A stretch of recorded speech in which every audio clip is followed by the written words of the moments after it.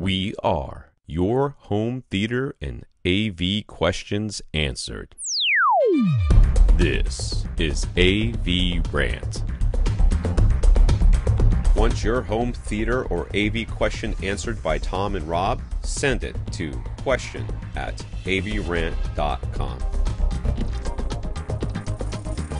Welcome to another edition of AV Rant. I'm Tom Andrew, and I'm here with Rob H. This is AV Rant. It's your home theater and AV questions answered. And welcome back, Tom. However, if you are watching us on the YouTube version, welcome back, logo on the left hand side of the screen. Because as you might imagine, Tom's theater is still uh, not put back together. So he's like, forget the video. all in the center of the room. Like everything is in the center of the room covered in plastic. And it will be probably months Yeah. before I get it back. I hear you. so Yes. Uh, as far as so, those of you, thank you for all the concerns and stuff, and uh, the the notes of support. I appreciate it. Again, I did not suffer nearly as much as many of the people in my neighborhood. Uh, But still. I just was talking to a person whose the water was six inches from the bottom of their granite countertops. Holy smokes. that is a That's that. Yeah, F- that's getting F ton of water. three feet okay? ish. Holy cow. That's, yeah, that's horrific. That's a that's a bit of water. No and, kidding. Uh, so you know, it is what it is. I am, like I said, I'm not. We're not suffering. We're inconvenienced at best. sure. But Right now, It is we spent the weekend going through the garage and doing an itemized list of everything that Mm. Yeah. got destroyed in there, which is more than you think. that's always a a fun task, isn't it? it's it's it's what it is. I am not complaining. So things are things are you know, right now we're kind of in a holding pattern waiting for uh, us to get quotes for Okay. repairs that we send off to the insurance company, which they'll surely reject and give us a fraction of the money for because insurance, and then they'll raise our rates Oh, yeah, because that's the way these things work. Oh yeah, But, uh, they're they're not really in the business of handing out money. They're in the business of weird. collecting it ahead of time and then giving back as little of it as they can possibly get away with. That's yeah. right. Uh, but before we go any further, to make sure we don't forget, I want to thank Joe Klusnick for Yes. guest co-hosting last week.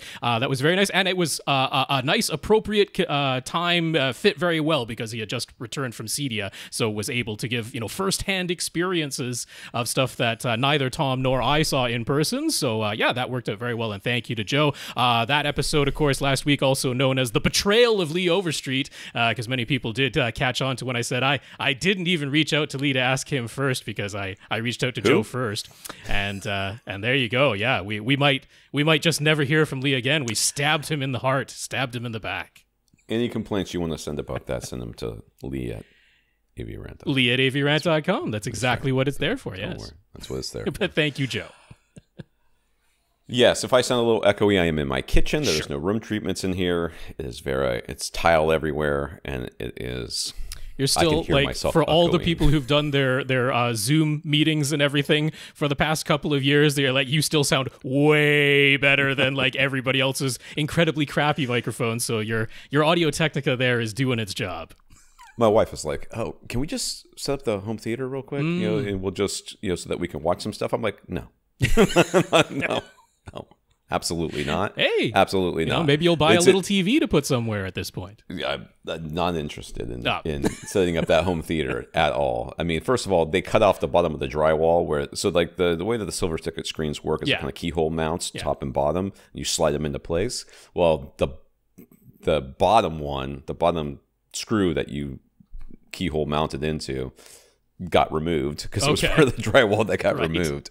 And so I can't do it even if I wanted to. And second, I don't want to. I did paint behind there because I couldn't get the remember we talked Yeah, I about mentioned, that? I mentioned that uh, last week to, to let everyone I know. Yeah, like- you're actually going to take the opportunity. To I am. I was very excited about that. Room. I mean, you know what you should do? You should get on board for one of those telly TVs, the completely free TV, as long as you watch the the ads on the second screen that they like staple to the bottom of that thing that never turns off and constantly shows you you ads. But it's a free 55 inch television. That's what Tom should do. Say it's for the I'm not doing that podcast. I'm not doing that either. yeah, so we have. uh yeah, I could have actually done the podcast last week, but there was like ten, eh, maybe not ten, maybe there's five different people that were supposed to Right. show up at this house that day. Around that time, one showed up a little, like right around the time that we record, but he was here for five minutes and left, and then everybody else canceled. Oh, I see. Well, I mean, there was no reason to put yourself out whatsoever, and uh, and it all worked out swimmingly. So, but we are glad to have you back, even if it's without video. yes, it will be without video for a while because I'm not cleaning up my kitchen. I mean, hey, I went through people. that for a spell there, didn't I? So Yes, everybody is gonna be used to it. All right, what did you watch, Rob? Yeah, so uh, continuing on with Star Wars Rebels, I finished up season three now, so I just have one final season to go, which is 15 episodes, a little bit shorter than seasons two and three. So yeah, uh, you know what? Honestly, quite enjoying this. It gets a little bit darker and darker and darker as each uh, season progresses. So while the I first, just finished the episode that where they co- copied uh, Pitch Black. Okay, yes. The one, the one with the monsters. So that, there you go. That can't come out in the sunlight. So I'm in season Spoiler alert: one Tom still. Tom is uh, uh, now watching Star Wars Rebels in season one. So, yeah. Well, while things uh, seem a little bit more lighthearted there, uh, but what I I have noticed uh, now, having completed season three of Rebels, is um, they they are. I guess taking it as an opportunity, but also running into the fact that this is all taking place within like established timelines from the movies.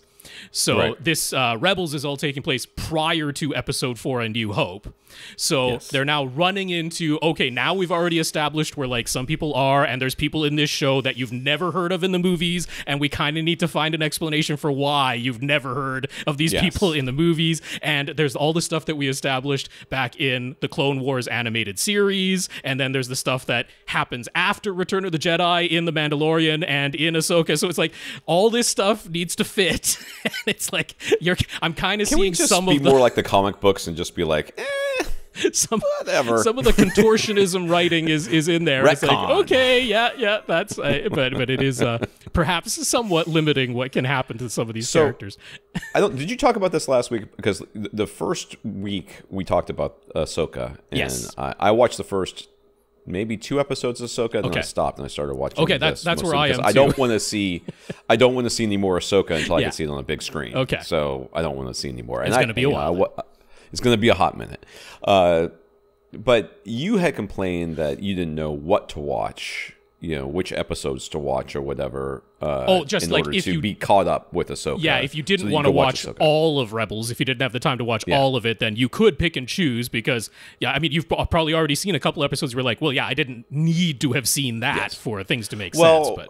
But I I don't know that if it's happening in Canadian Disney Plus, but Okay. there was definitely like a playlist on Disney Plus for Yes. a while that was like these are the episodes, and it had Clone Wars stuff, and That's it right, had and it had a couple Rebel Rebels stuff, and, and the thing was, Mandalorian those, stuff. Those were else. only Ahsoka Tano episodes, Ah. and now in the Ahsoka series, there's actually probably more time spent with the Rebels crew than there is with Ahsoka herself. So it's like, yeah, those were the episodes of Rebels that Ahsoka Tano appeared in, but you're not gonna get all of the Rebels characters backgrounds if you only watch those episodes. So yeah, I wouldn't say Right. that that is completely sufficient just going with that little curated list that they came up with. Although if you just Hmm. want to see Ahsoka and nobody else, then yeah, that would work. So okay. that was that. Right. Uh, so yeah, other than that, uh, watched the movie. I watched Elemental, which came out on Disney on Plus. Disney Plus, uh, yes. was in theaters not that long ago, so they brought it over there pretty darn quickly. Honestly, I, I really liked this movie. Um, this is another one. This is a Pixar, uh, Disney Pixar, uh, but this is another one where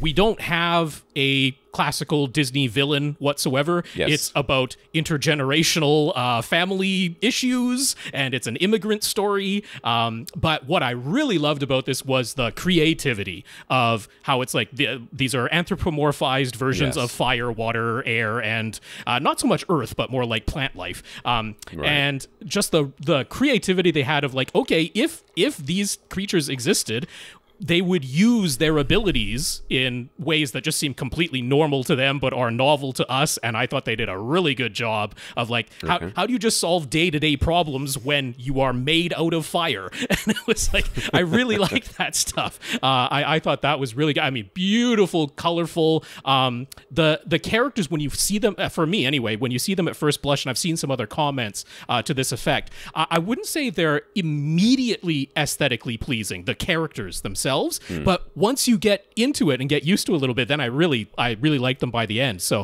uh, I, I came around on all the characters this this was one where uh, I mean, the characters really had arcs, and when you first meet them, you don't necessarily like them. Like they're they're kind of they're not everybody's super likable right at the beginning. So this is a movie that, if you only go by the first 10 minutes, you might be like, I don't necessarily love the way the characters look. I don't necessarily love the way the characters act. And I could see some people being turned off if you stop immediately. I would urge you not to do so. Everybody goes on a journey. I really loved everybody by the end. I loved the way everybody looked by the end. And so it was well worth a watch. I wouldn't put it quite as high as Encanto I, I thought that movie was like an absolute masterpiece. I wouldn't quite put this up there, but Elemental well worth a watch, and I can see why it had legs in the theater. That word of mouth spread, and uh, yeah. and people did end up going, even though it didn't have the biggest opening weekend. I have, uh, I have not seen it yet. Okay, uh, I saw that it was on Disney Plus. Again, I'm kind of on the fence about certain watching certain certain things uh, on the computer. I which wouldn't is what I'm limit doing. yourself completely to that, though. It's yeah. yeah. I know, but I'm like, eh, I kind of want to hear it. Nice. nice I know. okay, I, I, do want to talk about Pixar in general. I want to talk about one of the things that you said, uh, which is that there was no traditional villain. Mm-hmm. I, uh, I feel like we need to do away completely with the traditional villain. Okay. Uh, and, and they here's must my agree with you. they do, but here's my explanation why.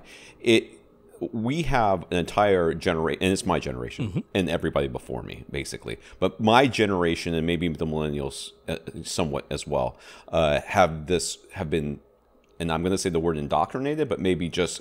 Uh, kind of uh, just gotten used to this idea that cut off the head and the body will die. I see, sure. It, it's the entire like Darth Vader throws the the emperor off mm-hmm. into the thing and then the empire falls sure you know which is you know it, that's never how anything works in real life you know, well that, in a way that's why the stories were so nice because they were simple they were very simple yes. black and yes. white and they have very clear beginnings and ends and you can go on with your happy life afterwards that's right and it's like it, it, in real life like right. even if there's like one person who's like actively being evil and they come after you and then you defeat them or kill them or get rid of them, send them to prison or whatever, mm-hmm. they usually have a friend or a family member who's still going to come after you. Yes. You know, that's historically the way things work. So I like the idea that we are getting away from this traditional okay. villain thing because I just, I just. I, I, I feel like it, it, it, encourages simplistic thinking towards well, yeah. complex problems. Okay. I and see. while it's good for storytelling, it's bad for like later on in life when people are like, well, if we just like if we just get rid of this person, then all of our government problems will be fixed. well, Which is yeah. what people say right now. They're like, just you know, no matter which presidential person you love mm-hmm. or or hate, if you if you just got rid of the one you hate, everything would still be effed up. Okay, well, there would be the no difference. World, yes. you know? So I like the, the, idea that we're moving away from traditional mm. villains. The one, and so I do. I really appreciate that Pixar has most of their movies have just gotten away from all that, Quite which bit, I, yes. I really I really like. What I what I think Pixar I'm seeing from Pixar that's bothering me is stagnation as far as their animation style. Hmm. They have gotten they have really solidified this whole you know look that really doesn't look that much different from the incredibles like since the in, in, my mind that was sort of like the incredibles in in that era really we don't see it doesn't look that much different to me than anything hmm. else hmm. uh, and i would like to see them evolve uh, in an art style away from. I mean, I will say there is uh, definitely stuff in Elemental that is that is definitely advanced since the time of the mm. Incredibles. So, well, I'm not saying it hasn't advanced, but yeah. I'm saying it's not different. You know, you, okay. saw, you if you look at Toy Story and then you go through the different iterations of what they've done. Like every movie, like you see Monsters Inc., right? Mm-hmm. Monsters Inc. They like we learned how to do hair, and we're gonna do a bunch of it. you know? and, then, and then like you know we learned how to do this, and we're gonna do a bunch of it, and that sort of thing. And we're not seeing that. Uh, so I would like to see uh, some sort of uh, visual improvement or visual change in their style okay. in forthcoming movies. But that's just my personal thing. But go ahead. What else have you watched? Uh, so I just wanted to quickly mention that uh, that Barbie came out on uh, at least on Apple Movies. It came out on the digital version. The disc release hasn't happened yet. But just to comment, I did watch it right away. Purchased it and watched it right away. And this is a movie that uh, I ended up seeing it twice in theaters, and now I've seen it at home. And this is one of those movies where Greta Gerwig, the way that she shot this movie, working with her cinematographer, it's like you want to see this movie as big and filling as much of your field of view as you possibly can. Um, mm. it, it, there's definitely details that I saw now that I can see it in 4K resolution HDR on my television. Uh, there, there's stuff that I picked up, and plus having seen it twice before, now I'm, I'm paying more attention to the background and stuff like that. But um, yeah, this is absolutely a movie that that uh, it was meant to be seen as large as you possibly can. That's the way it was shot. That's, in my opinion, the best way experience. I was thinking back to like, uh, I know where you know there's problems in the real world with uh, with Bryan Singer, but the way that he shot, like for example, X2, uh, X Men United, Yes. that was a movie where it's like, yeah, the experience in the theater was it was noticeably different from watching it on a television at home and it felt better in that very large format. So i would say the same is true of barbie and that was just a comment that that came to mind. And the last thing i want to quickly mention not something i watched but something i've been listening to is uh, strike force 5 the podcast that has brought together uh, stephen colbert jimmy kimmel jimmy fallon john oliver and uh, who am i forgetting out of this group? Uh, the the other uh, fifth talk shows oh seth uh, seth meyers. Um, oh, Seth Meyer. Yeah. So they are doing the podcast and it's being sponsored basically by Ryan Reynolds' various companies. Um, and all, all the money that they're getting from the advertising that basically Ryan Reynolds is paying for is they're they're giving to their staff while everybody is on strike. Uh, they're writing stuff. So basically, Ryan Reynolds, Ryan Reynolds is floating their industry. Floating five man- late night talk shows, yes, more or less. that man's like, you know what? I'm not gonna just rely on these rugged good looks and and this you know this hilarious personality that I have forever. I'm also going to invest in just random Oh, stuff that seems like a good idea. He's for an me. incredible then- businessman. Oh my god, the whiskey! I think he did the whiskey for a while. well, he did the or vodka, for vodka sure, gin yeah, or the gin, whatever it rather, yeah, aviation gin. Yeah. Yep. And then, uh, then the then the Mint Mobile, Mint Mobile, and yep. the, the soccer team. Wrexham, yep. I mean, come on. I mean, the, So they Just- they are very thankful to uh, to him and his companies, and and he does he records his own advertising spot for every episode, so you get some Ryan Reynolds in there too. Uh, but just honestly, um. Of course, you got these five very big personalities who are used to being dominating the conversation, right? They, every one of them does a monologue on their shows. Uh, like John Oliver, for example, is just talking at you for 35 minutes straight uh, when he does his show. So it was really interesting to me to see them sort out through the first five episodes. I think they've done six or seven to this point, but I've only heard five. Um, you know, sort of sort out. I, I almost like the the natural pecking order, like who's who's kind of going to take the lead, who's going to step back a little bit, and it was kind of fun to hear them working that out in real time while they're doing this podcast. And I mean, it what what surprised me was.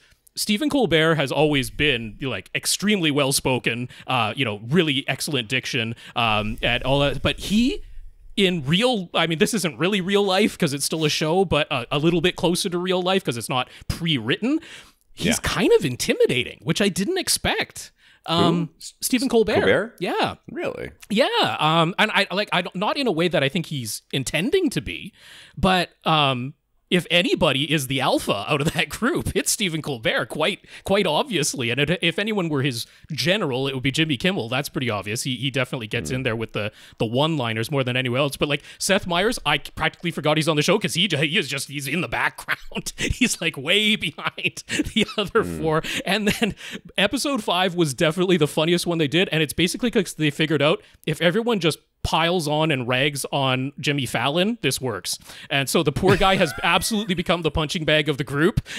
Jesus. it's like it's kind it's really entertaining to hear how this pecking order came out. But I was honestly surprised at, at Stephen Colbert. I was like, yeah, I, I didn't realize that he's got like really quite an overbearing personality. Uh, but it's still very entertaining to listen to. So there we go. Interesting. Yeah, Strike right. Force Five if you want to check Well, it out. I think we should support the podcast simply because they they're supporting their writers and That's right. and their staff uh, who are Yeah, they're, they're not asking for donations or anything like that. They're just, just you listen to the podcast and hear the ads by Ryan Reynolds, and there you go.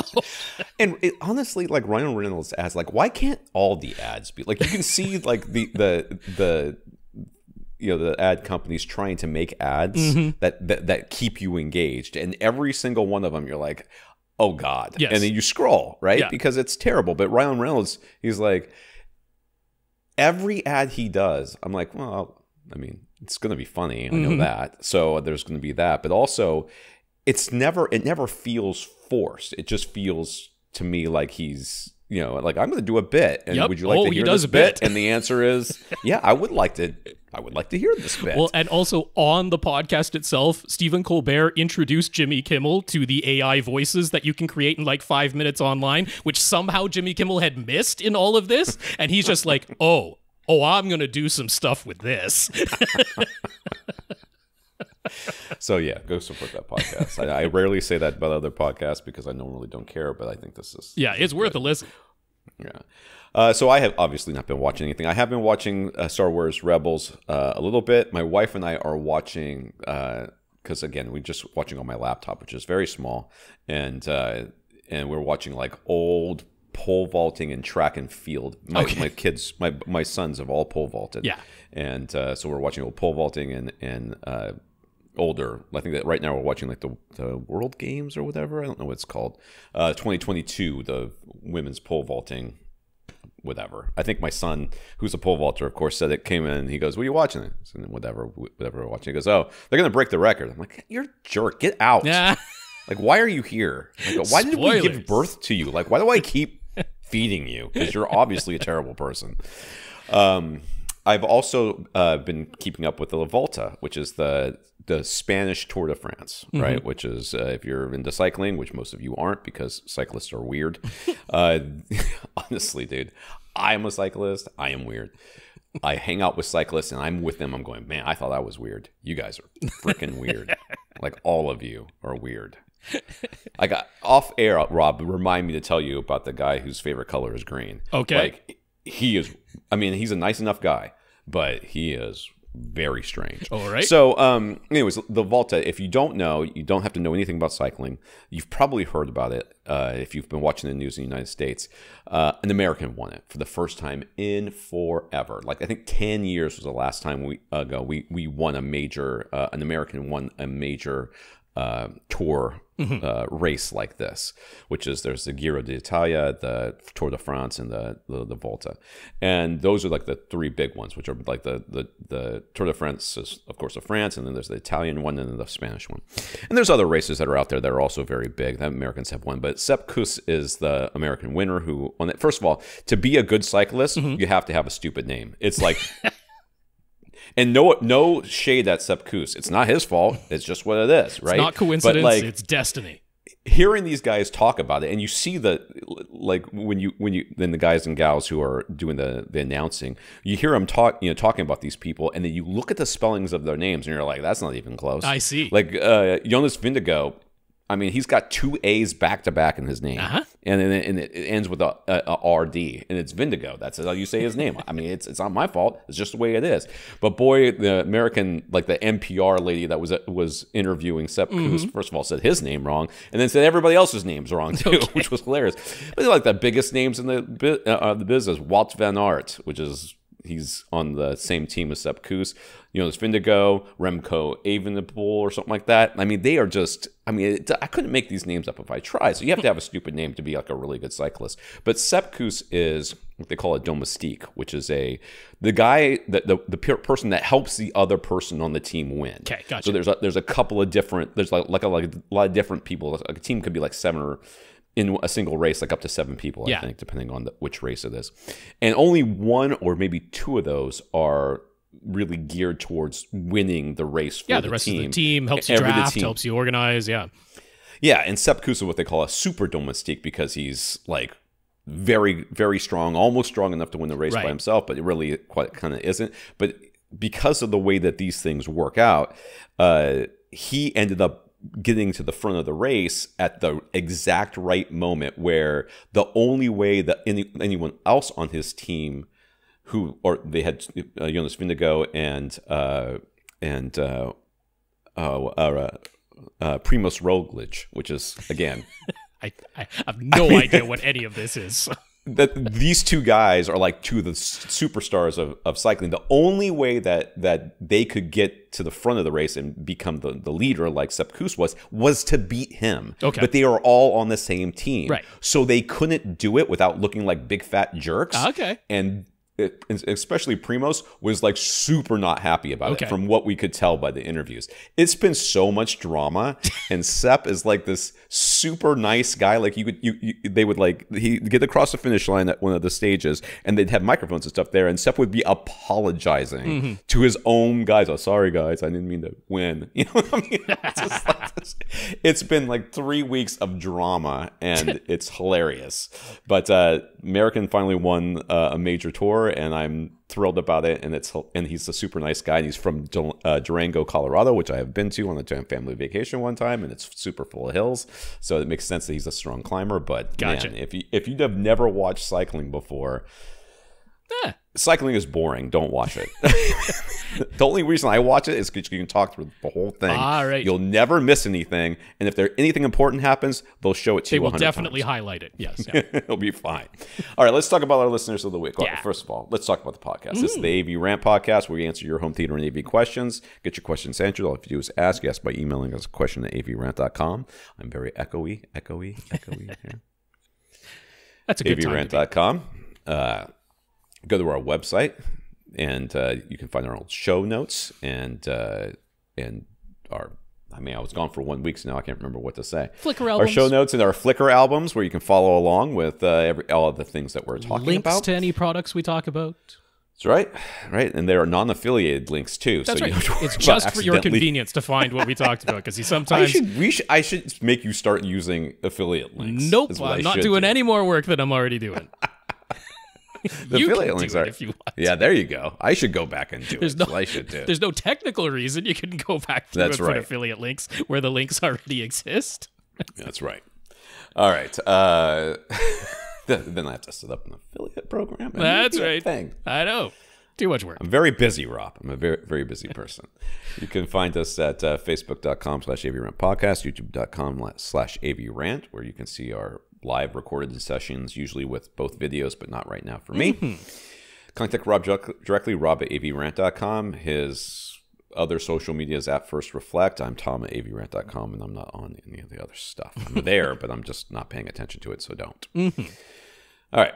Let's talk about our listeners of the week. Become a listener of the week, you support the podcast in some way. One of the ways you can do that is going to avrant.com, click on the Buy Us a Cup of Coffee link, and sending us a PayPal donation. So this week, we want to thank Ty, who clicked on the checkbox to make an automatic monthly donation from PayPal. So Yeah, thank that is an much, option Ty. via PayPal now. So thank you, Ty, for doing that. He doesn't have to remember to manually make a donation every month. It's just going to automatically happen now until his credit card you, Ty. expires. Thanks, Ty. Right.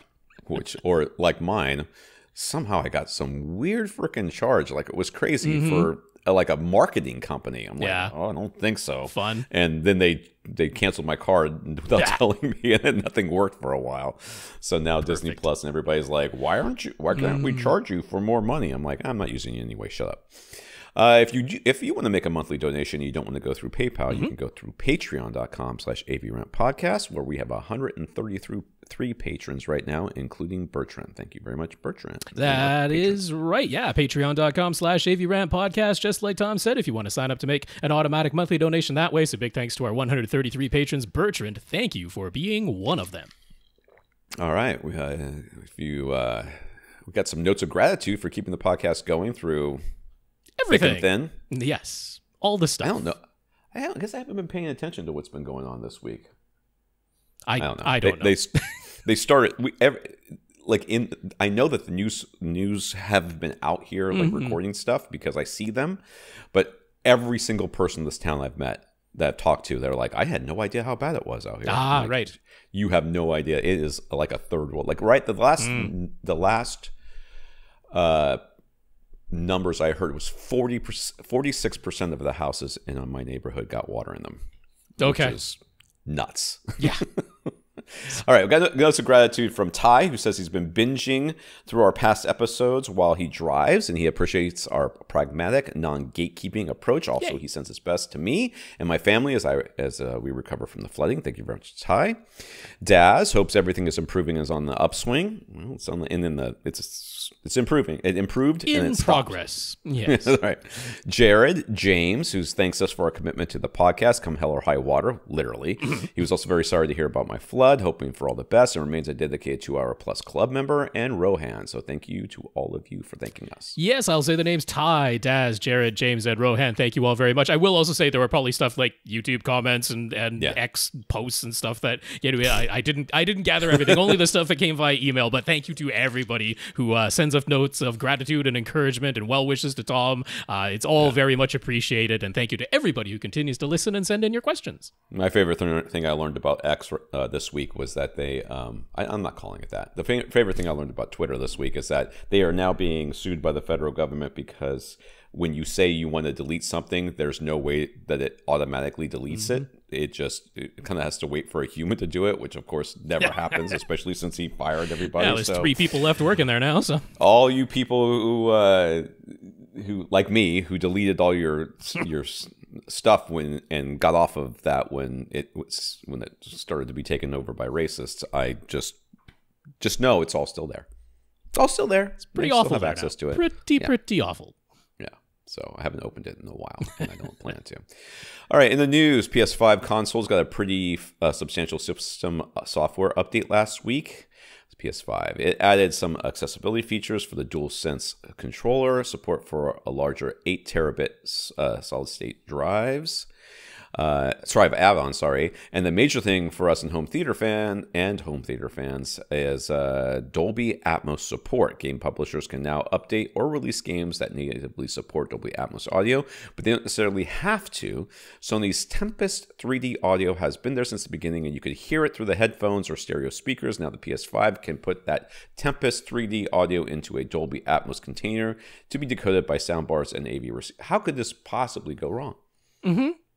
I feel like this is the perfect solution. There will never be a time when a sound that was supposed to be beside you comes from behind you, or vice versa, or something weird like that. No. Something no, this overhead is- that's this will be perfect. This will be a seamless transition from That's right. their DSP controlled crap Absolutely. to, Atmos, to Atmos, which was definitely done by a human with ears. all right, this is the same. The same is true for all streaming media apps. One of our listeners, Mark, let us know that first, nothing has changed for movie disc playback. You could always set the disc player to output bitstream audio, including lossless Atmos and DTSX, and that's still the case. But second, if you set your PS5 to out, output Atmos, then everything comes out in an Atmos container all of the time. Yes. Oh, thank God! I mm. would hate for it to be any better than their micro, than the Microsoft counterpart. it would be terrible if somehow the PS5 was less terrible than the Xbox Series right. S. But here we go. So if you're streaming a movie with just a 5.1 soundtrack, or you're playing a YouTube video with two-channel audio, your AV receiver still says it's getting Atmos. That's right. So, FYI on that one. Yep. Denon announced their 68 X6800H receiver model for $3,500, although it won't be available until early 2024, much like the 6700H that it will replace. It has 11 amplifiers built in. I think they're having a hard time getting more amplifiers into these things. 140 watts per channel, two channels driven, but it can process up to 13 speakers. And of course, it gets four instead of two subwoofer outputs, so you can go up to 7.4.6 or 9.4.4 configurations. You get seven full bandwidth HDMI 2.1 inputs and three outputs. There are still some analog video inputs, although just two composite and one component with no analog video inputs at all. Outputs at all. Yeah. Outputs it's got at the all, inputs, sorry. but no outputs. It's got the inputs out. Okay. Um, So this is strictly about converting old video sources to HDMI. It still comes with Audyssey MultEQ XT32 with the option to pay extra for uh, MultEQ-X, which is the program, 200 bucks or something like that, and or Dirac. So you can get Dirac with that. That's right. So yeah, the back panel changed a fair bit from the layout on the X6700H. So that is changed. Uh, this has the ability to do Dirac, uh, which uh, you could do MultEQ-X back on the 6700H, but you couldn't do Dirac on that one. Uh, the four subwoofer outputs, and uh, then yeah, uh, the X6700H was one of those models that had a single HDMI 2.1 input, no HDMI 2.1 switching on the 6700. So that has been remedied now. Now you've got seven HDMI 2.1 inputs to switch between on the 6800H. But other than that, uh, no big change. I was kind of hoping for a model that, like, honestly, if it had 11 amps built in but could process 15 and required four channels of external, I was like, ah, I was kind of hoping for that. I mean, that would have to be at this point a 7800H in the model lineup because there's a jump and a big, big price delta between the 6800H at 11 built in and processing 13 up to the 15 built in and 15 processing A1H flagship. There's a $3,000 difference between those two models. So something could shimmy its way in there price wise that could process 15 without necessarily having 15 amplifiers built in. But no such model exists. So you got to pick your poison. Hmm. Yeah. Very exciting. I don't really see why we need more speakers. honest with you. All right. Harmony remote users continue to be on the lookout for a true replacement option, and at CEDIA 2023, the A- AVA or AVA. I mean, it's capitalized AVA. I don't know how they want it pronounced. It's at least an acronym that you could pronounce, so I'm going to say AVA. Okay. Ava Cinema Remote with Ava OS and the new Ava Nano Brain hub. I already hate it, but whatever. Got some people excited as long as you weren't hoping for a Harmony type price, Yes. which means it's going to be expensive. It's more expensive, yes. Ava already had the Ava Home Remote, which was just a touchscreen that ran Android with their own Ava app and interface available. But the Ava Cinema Remote changes things quite a bit. Technically, it's still entirely a touchscreen, but at the bottom, there's a physically raised ring to provide tactile feedback so you don't have to look at the remote to know what button you're pressing. The square area around the raised ring is also a touchpad that can dynamically change its buttons depending on what device you're controlling.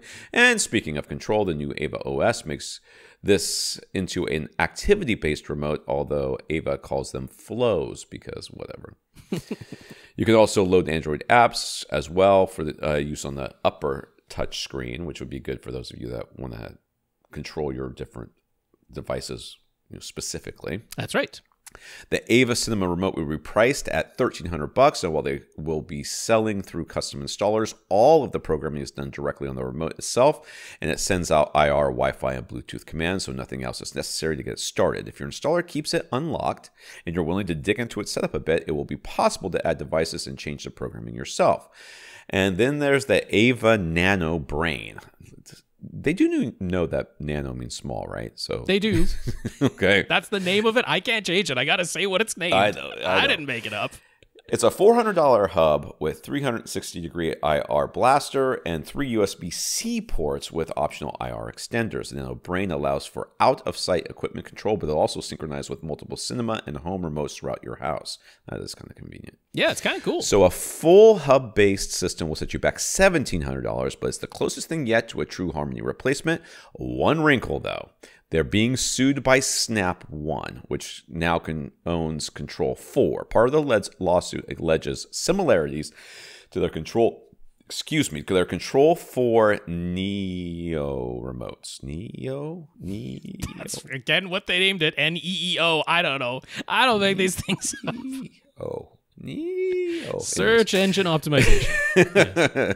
They're Control 4 NEEO remotes, so we might need to see how that plays out before getting too excited about the Ava Cinema remote and Nano Brain. You know, can't we just have nice things? Can't Apparently somebody not. just have nice things and not be stupid about it and like, oh, you've got that looks r- so not exactly the same as ours, but close enough that we think we can maybe so you you know tie up enough of your funds so that you'll go out of business Yeah. and then you we won't have competition. Yeah. Do we have enough money to do that? We do. Okay, let's do that. Let's. I mean, let's these let's are do that. Both essentially touchscreen rectangles. So I don't know that run Android, Oh. which is freely available to anybody. So I don't know how things are going to go there, but yeah, uh, I mean, yeah, still still continue to keep a lookout. Uh, but yeah, the Ava, Ava Cinema Remote, if it ever comes to comes to market, then it could be an alternative as long as you're willing to pay the seventeen hundred dollar price. Yes. Uh, before I forget yet again, because I've forgotten a couple times during this Okay. podcast, I want to talk about this the wireless speaker I'm using to watch on my computer because the the, Ah. the volume of my computer is not loud enough. Right. But I don't want to do it right now. So you remind me. I'll try. at some point. We'll see how we and go. then it'll be your fault and not mine. That's right. So, in breaking news, thanks, thanks to the FTC versus Microsoft lawsuit, details about Microsoft's Xbox control plans leaked out. Console Xbox- plans. Console, console, Yes. console plans leaked out. They apparently plan to release refreshes of the Xbox Series X and X, S and X in September and November 2024, respectively. Reportedly, the new Xbox Series S will go back to a white case and still be priced at $300. It'll have a one terabyte solid state drive, just like the recent black case version, but it will use more recycled material and it will have a Wi Fi 6E and did you hear that squeak coming out of my mouth just now? Not really. I said six. Oh, Oh, my god, six! I can't even do it on purpose. Anyways, it'll have Wi-Fi 6E and Bluetooth 5.2 built in. No big change. However, it will come with a new version of the Xbox controller, which gets a swappable rechargeable battery, module thumbsticks to re- to make replacement easier, new haptics. Uh, gy- gyro and accelerometer, and the ability to connect directly to cloud gaming. The biggest changes come to the Xbox Series X. It's apparently losing its disk drive. It'll still cost $500, which now gives you uh, two terabytes of built in storage. It also is going to be a cylinder instead of a very boxy box. Mhm.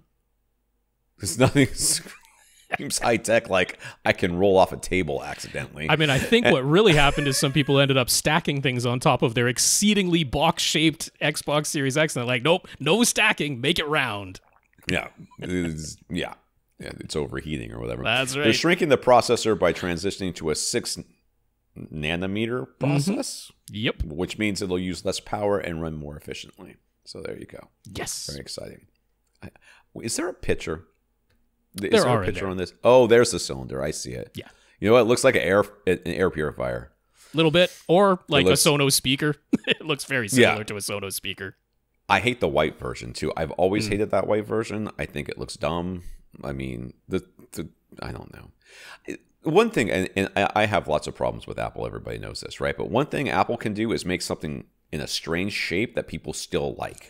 Like even the- Aesthetically even, pleasing industrial design that is a hallmark of them. Yes, not I so mean, much that- Microsoft. that stupid uh, uh, CRT iMac that they made for a while that Mhm. was in all different colors. I remember when it came out and everybody went, "Oh, it's so dumb," and secretly went, "But I want one." Many people do. They seem to be doing all right selling stuff over there at Apple. They're doing all right. Yeah, I like how they take. It. They're like, "We've we've upgraded our iPhones to have USB C for better connectivity." That's Everybody's right. Like, and now all I see is articles on my thing about how great the Lightning plug connector you Ah, used right, to yes. be. Because Mainly because you got like a gazillion lightning cables in your room. Yeah.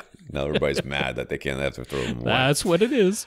So, also leaked are Microsoft's apparent plans to introduce their next generation of gaming in 2028. And not surprisingly, they seem to be aiming for a hybrid cloud based system. I don't even know why they're giving out hardware anymore. It should just be a remote control. Right. A remote that connects to your other. The leaked plans include switching to an ARM based processing, which would mean any form of backwards compatibility would demand emulation. And they apparently intend to target next gen ray tracing with an AMD AMD GPU and a thin OS that would leverage cloud based processing to allow for game streaming on handheld devices and a sub $100 streaming stick. So, your next Xbox will be a cylinder that that's, that's that will fit in your hand and plug into the back of your TV. That's That that's that yeah be. yeah. I mean nothing super surprising here, but they didn't want these these all of this stuff that we just talked about was supposed to be secret. It was supposed to be like not not released to the public because it was all during the lawsuit that's going on with the FTC right now. I think still to do with their acquisition of Activision. So it's like, but all of this stuff came out and The Verge reported on it. So there we go. We're just saying what they said. All right. Uh, some corrections. Here. All right. A correction or Two. some corrections? There's a couple of corrections. Two corrections. Yeah. Because it does say corrections plural. Roger via YouTube comment. We recently talked about the new Denon X1800H receiver model. We said how we thought it was strange that they had removed the Zone 2 pre-outs as compared to the 1700H model. We must have been looking at the images of the back panel for the European version. It's true that on that version there are no Zone 2 pre-outs, but for the North American version, not only are there Zone 2 pre-outs present, they've also added a pair of front, left, and right channel pre-outs for this uh, for that that the 1700 that did not have did not have this that on them.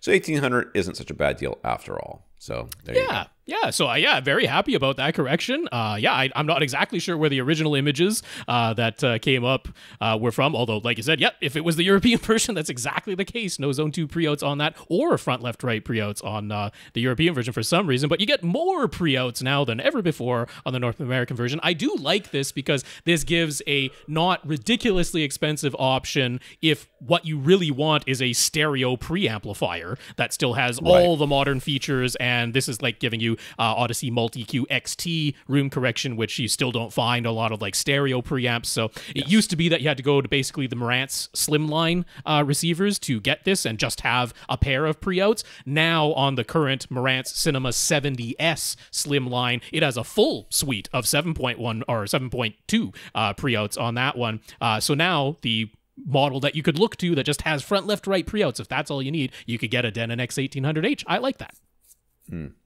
The que- the question, though, is anybody who's really looking for a stereo preamp going to buy an AV receiver? Full stop, no matter what. Right. Because I, you know, For those just- in the know, you can save some money. That's all I'm saying.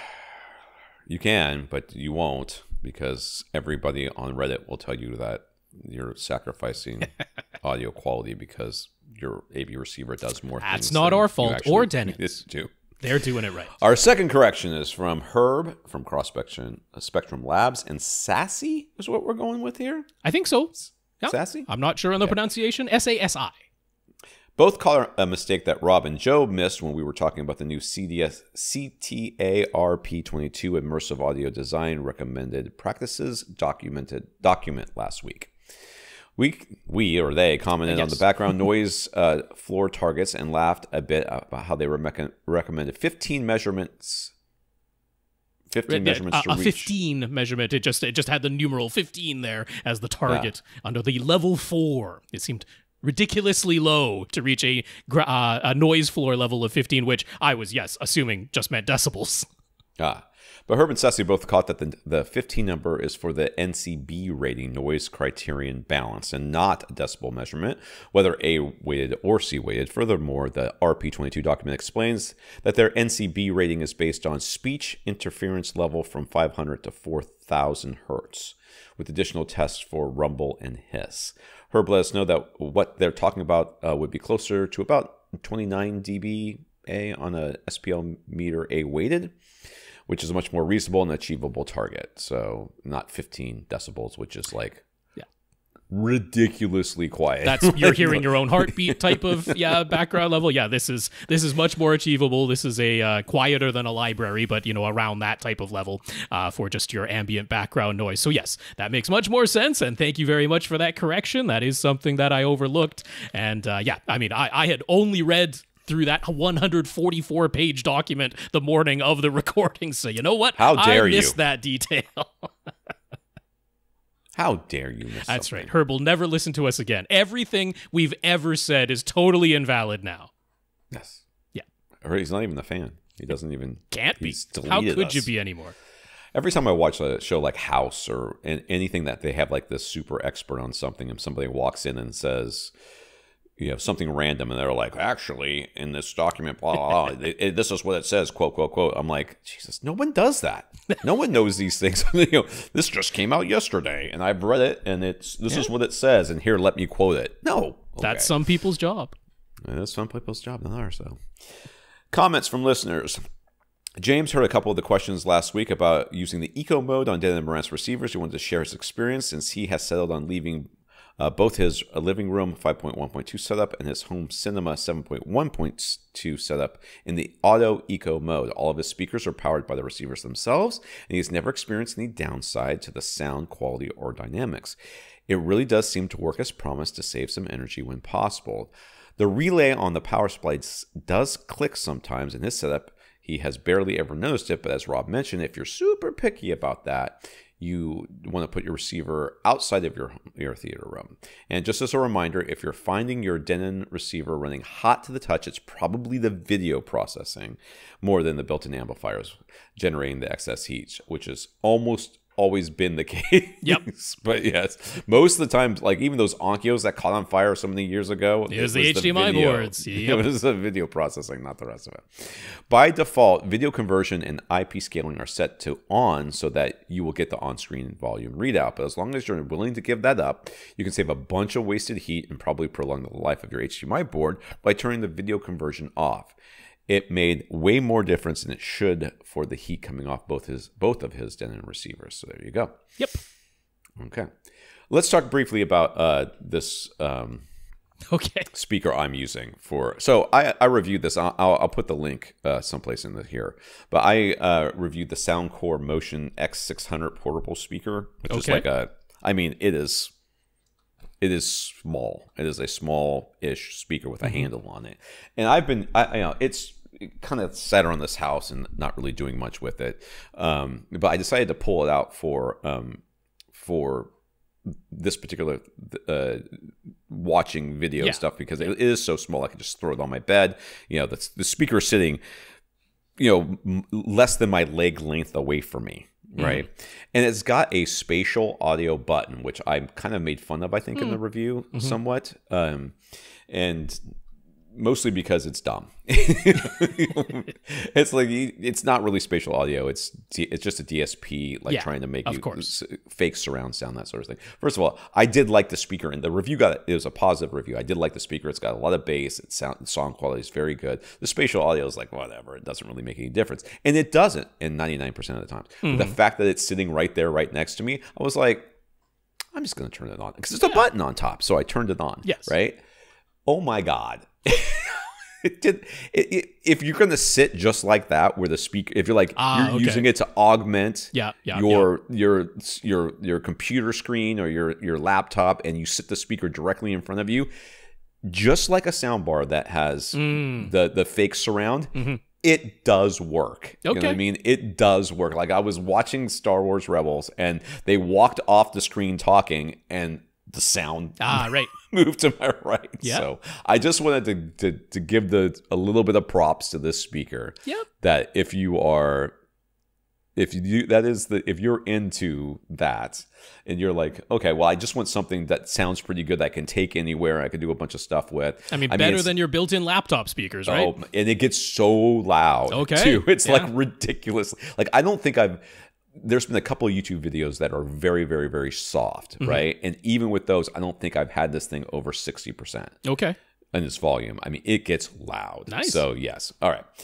Questions. Scott and Jorge. Scott and Jorge.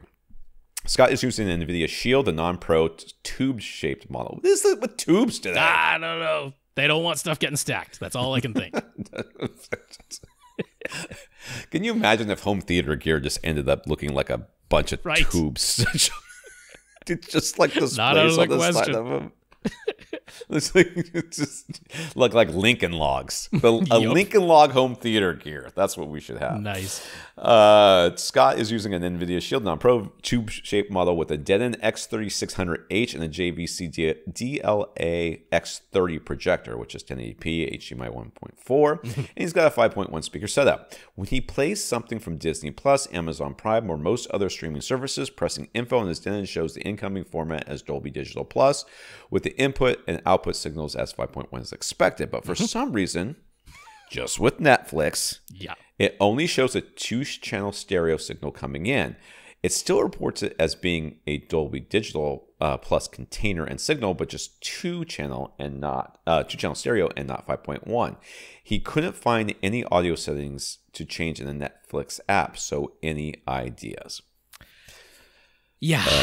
Th- so Netflix does have uh you know original 5.1 and then stereo. And it usually defaults to the original 5.1 for mine but i don't know why that would be different for you Yeah, that's at not a bad thing to check. Is like ac as something is actually playing. This isn't like a, a settings menu thing in the app or online. This is like when the video is actually playing, checking the audio track. Just like how you can optionally turn on subtitles, you can optionally while the video is playing check Right. the audio settings. So that that isn't a i bad just thing hit to check. info or whatever or, or Yeah. something and it pops up like the it's like near the Yeah. subtitles I mean, on, on a Shield or Apple TV, you often often just press the up button on the you know directional pad, and that'll Yes. just bring up those things, and you can navigate to that. So that that is, yeah. I mean, I know that sounds a bit pedantic, but that's not a bad thing to check. Who knows? Maybe at some point it got switched to stereo and remembered that you watched something in stereo. It's it's not out of the question. Uh, the other thing that I thought of was um, because you wouldn't find this under any sort of audio or video settings, uh, and you would have to make this change either on your computer or on your phone app version of Netflix, which it's not out of the question if you're using an Android phone that the NVIDIA Shield is actually pulling the mobile version of the Netflix app and might have been using any settings that you set in your Android phone. It's it again Yeah. not out of the question. So this is actually under the data savings uh, menu in in those settings, particularly on the app, where if you set it to data saver or if you set it to low on the web version, that is limited to stereo audio. It will never output 5.1. It will only output stereo from Netflix if you set it to the data saver on your mobile version or if you've set it to the low uh, data usage on the web version. So set that to medium or high, uh, or on the mobile app version, I think they only give you data saver or auto. I think those are the only two options. Uh, but if you have i mean i'm i'm thinking maybe on your phone you set it to data saver. That's not out of the question if you maybe don't have oodles and oodles of data on your plan. Um, and it's not out of the question that if there's an android phone that the nvidia is actually pulling the mobile version of the settings what it's doing like it's all working off of android uh, both of those devices. So that's something you could check and not necessarily in an intuitive looking in the audio video settings because it's not there it's in the data saver settings uh, but if it's none of that then we're not sure um, but I, at least that's something you might not have thought to check and, and could be the reason. He says it's all, all all the shows on Netflix. It's not just one. it's right? everything just- on Netflix, yeah. Yeah. And then the other apps on his Nvidia Shield are not doing this. It's only Right. Netflix. That's why I'm like it. It could be something be like the- the mo- the mobile app setting or something like that. Or like like Tom suggested, it could just be that while you were watching something, maybe it got switched to stereo. So could be pedantic, but worth checking. Yeah. And Jorge just started having almost the reverse problem. He's using the 2017 NVIDIA Shield. Everything was working fine until a few days ago. He didn't change any settings. He didn't make note of any firmware update happening. But now, two channel stereo signals aren't properly working for him. His Shield is plugged into his Denon X4400H receiver. Surround sound signals from his from any of his streaming devices or from Plex all work perfectly fine. But if he plays a movie or TV show that uses a stereo two channel audio signal, it's either no signal or exceedingly quiet. He also noticed that the system sounds when you're navigating around the menus have all disappeared. Any ideas?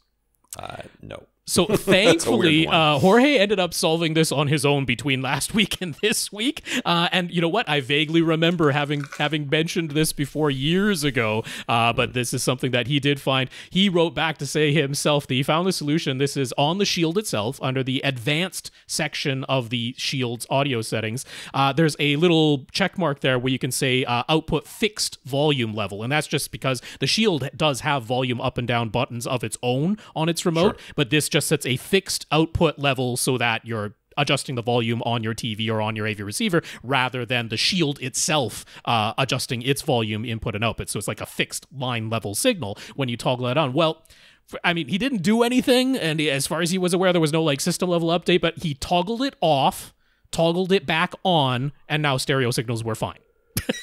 and his navigation button clicks and things like that were fine. It was just some glitch in the system where you know the the fixed volume level got set way way way way way too low, but all he had to do was toggle that off and back on again, and it all started working fine. So wonderful stuff. Uh, happy that that got sorted out for Jorge. I hope we are going to be able to set out Scott's issues with those suggestions. But there you go, some NVIDIA Shield fun with stereo audio signals.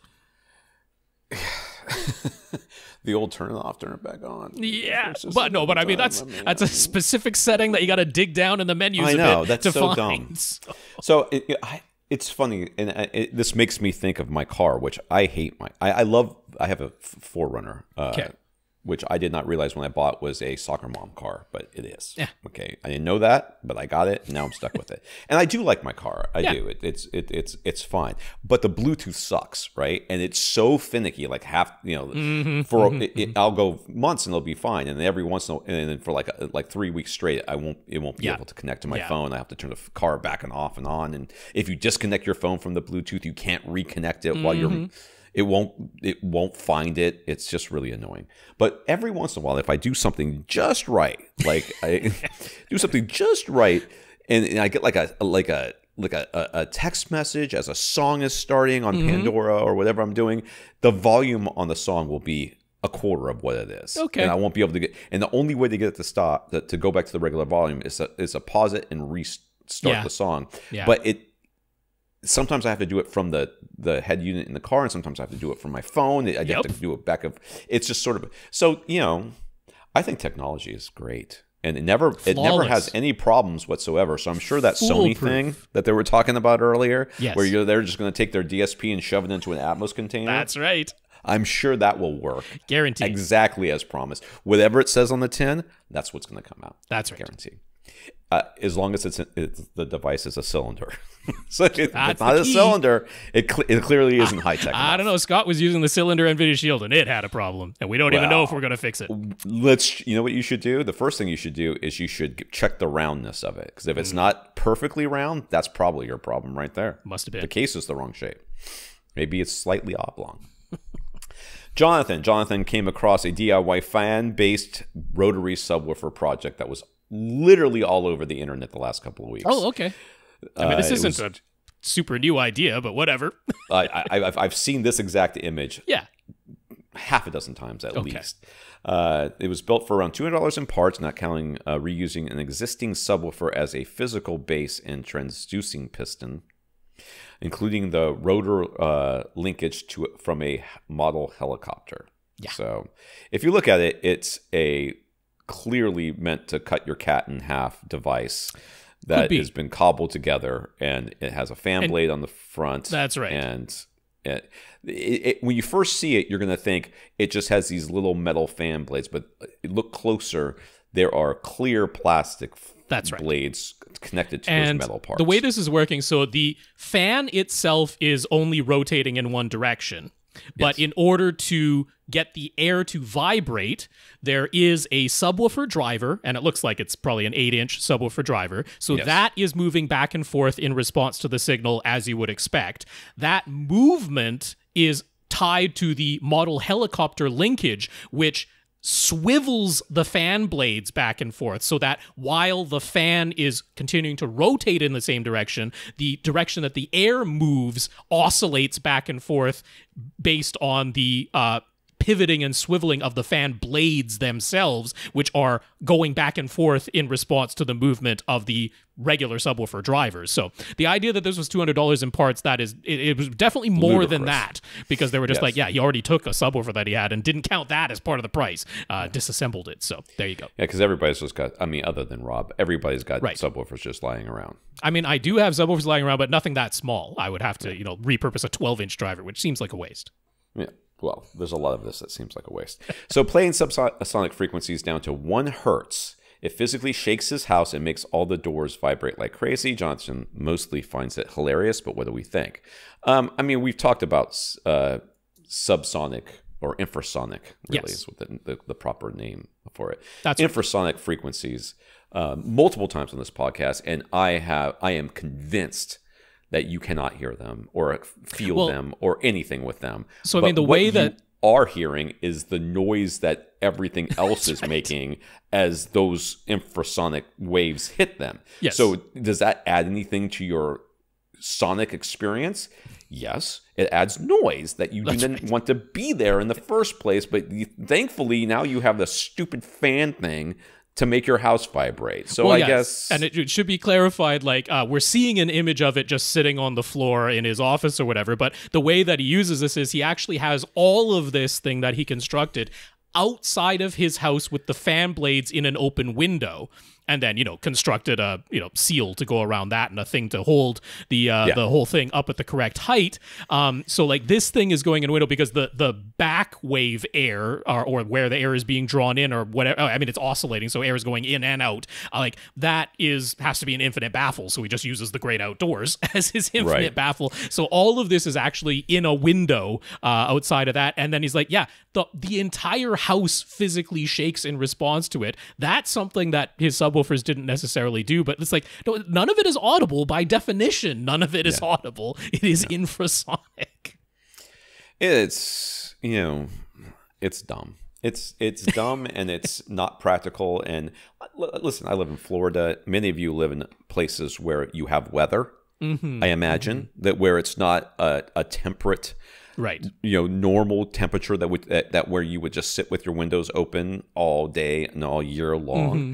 so i would imagine that you would not want to have your room have access And I mean, if you've ever had constantly issues out, right outdoors with Yeah. soundproofing your bass before, just imagine like literally attaching a vibrating thing to the entire structure of your house, and that's how you're going to experience your bass. So, look, I mean, yeah, there, there's people who just want physical shaking. I still say, just like I said last week, go ahead and strap a butt kicker to your seat because I don't mind that. not? I don't Yeah. mind that. That that's I'm completely fine with somebody doing that. Uh, that seems like the more reasonable solution to me, and it's certainly the more localized solution that uh, won't upset your wife. Uh, so there you go.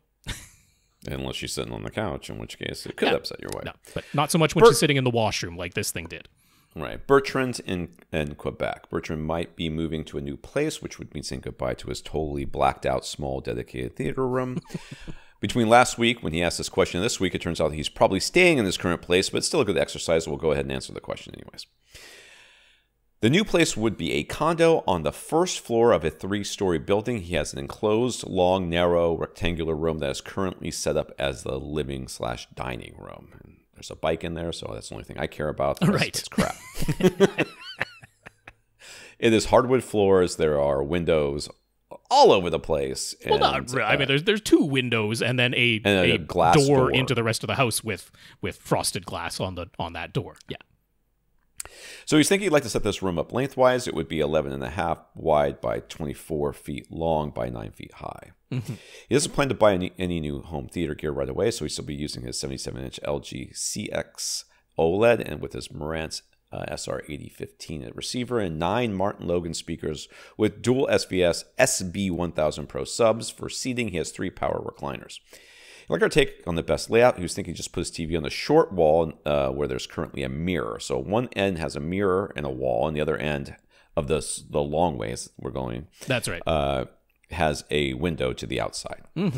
Uh, that would put the large window on the back wall. The front half of the room would be the theater area, and he put his two subwoofers at the midpoint of the side walls, meaning they'd both be slightly behind the seats. He could put his standing desk directly behind the seats, so he's still facing the front speakers and the TV while he's working there. And the back half of the room could be a sitting area. The current TV mount uh, by the window would be removed. Do we agree with that being the best layout, or would we arrange things in a different way? So, just as an exercise, this is one of these like do you always try to set up things uh you know longer than they are wide when does it make more sense to set things up wider than they are long when does it make sense to set things up basically the way that this person in the photos already has things where you know that right half of the room is the Right. living room area and the left half of the room is the dining room area so your theater area if you did it that way would be totally open the on the left but have a window sort on of the right bisects it, but not really. And it's the more, door, it yeah. seems, yeah, it seems so like this it's more this is just a good area. exercise for you know because I mean look most of us are going to come into pre-existing rooms most of us aren't fortunate enough to be building a dedicated theater from scratch so just the looking at the placement of windows doors the layout of the room how do you determine what the best orientation is when you're faced with something like this So sonically, as far as you know, where you're going to put speakers and Mm-hmm. stuff like that, the TV that's it's currently placed, which like, as Robert Mm-hmm. described, it's on one half of the room. Like if you cut the room in half, it would be on the you know the long wall, but only Yeah. one half of the wall makes it almost impossible to put real speakers to Right. the sides to one side of It it. would be blocking the have- door on the left hand side of where things currently are. The people there right now just seem to be using the TV's built in speakers like so many do. And just like these people already have it, it gives you almost no other option than to have your seats right up against the back wall. There's not a whole lot else that you could do. Yeah. So, you know, the other option, of course, is to put it on one of the small walls. And Yeah. on one side, you end up having like a direct reflection from the the window behind which would be behind the seats Yeah. onto the screen or the other way which blocks the window That's right. would be you know so you end up having to like decide what's important to you in this room hmm so for me, if it was my room, I would put blackout curtains over the, the Mm-hmm. window and put the TV in front of the window. Yeah, and that would And be then- my preference too. Um, and, and also because at the other end where there's this mirror, there is uh, a door on the right hand side of that that opens Yeah. into this room. So if you have your speakers set up on either side of your TV on the uh, short wall that is opposite the window. If you do all that, well, then you got to be very careful whenever you open that door swinging into this room to make sure it doesn't crash into your front right speaker, which would be basically set up right there where that door is swinging in. So if I were doing this, I myself being a bachelor living on my own, I Right, don't care so right. much if I'm blocking the view of the window. So I would still set it up this room longer than it is wide, but I have my TV stand in front of the window. There's nothing to the left and the right of that window, so I can absolutely put my front, left, and right speakers there and not have to worry about anything knocking into them. There's a slight concern that yes, you have the heat register below that window, so I might want to bring everything forward enough that I'm not blasting hot air directly into the back of any of my electronic components. But other than that, I think that would be the way I would set up this room. And then you just got to be a little bit careful at seating placement so that when those frosted doors open on the left, it's not knocking into a chair. Right. But uh, So- yeah, that would be the way I would do it. And so the argument on the other side would be, oh, I want to have access to that window from time That's to right. time, and and you know I want to be able to. I mean, even if I put blackout curtains there so that there wouldn't be a reflection on my TV when I'm watching it, I could still open it from time to time and, Mm-hmm. And right. kind of enjoy it. But I'm hearing how you're going to have this room set up. Your back would be to the window when you're working, which means That's your right. computer, your computer desk, your computer screens would be basically getting that same reflection. You're, Mm-hmm. there's almost going to never be a time that you're really going to want to open that window. And you know it'll be easier than opening that window or opening the blinds that cover that window. Going to a room that already has windows uncovered, Sure. just like walking Yeah. out, because you're really not going to be doing anything in here other than working. Yeah. And if that's the case, you know there is another window in this room that you can That's use for correct. natural light. Yeah. that one can be opened or closed for natural light from time to time, and that Yeah. would be to the side of your work area. And some light will I- be coming I in like- through those those frosted glass in that door as well if you have a light on in the rest of the house. Yeah, yeah.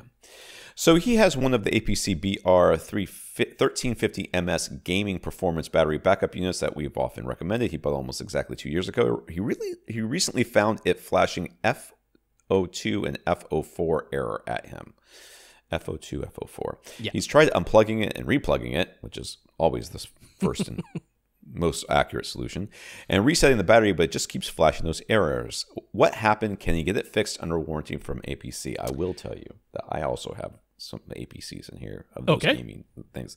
That my whole computer is is my my I have two computers and blah blah blah.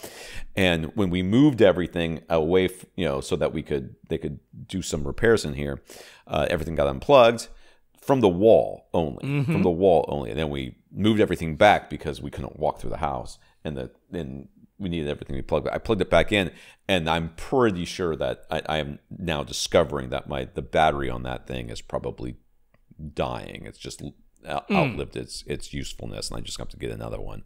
But uh, I would imagine that's what's happening here, but I don't know because I didn't look up these errors. So, Rob, what's going on? Yeah. Um. Sorry, I'm not sure if Tom is talking right now because our Skype seems to have had an issue there.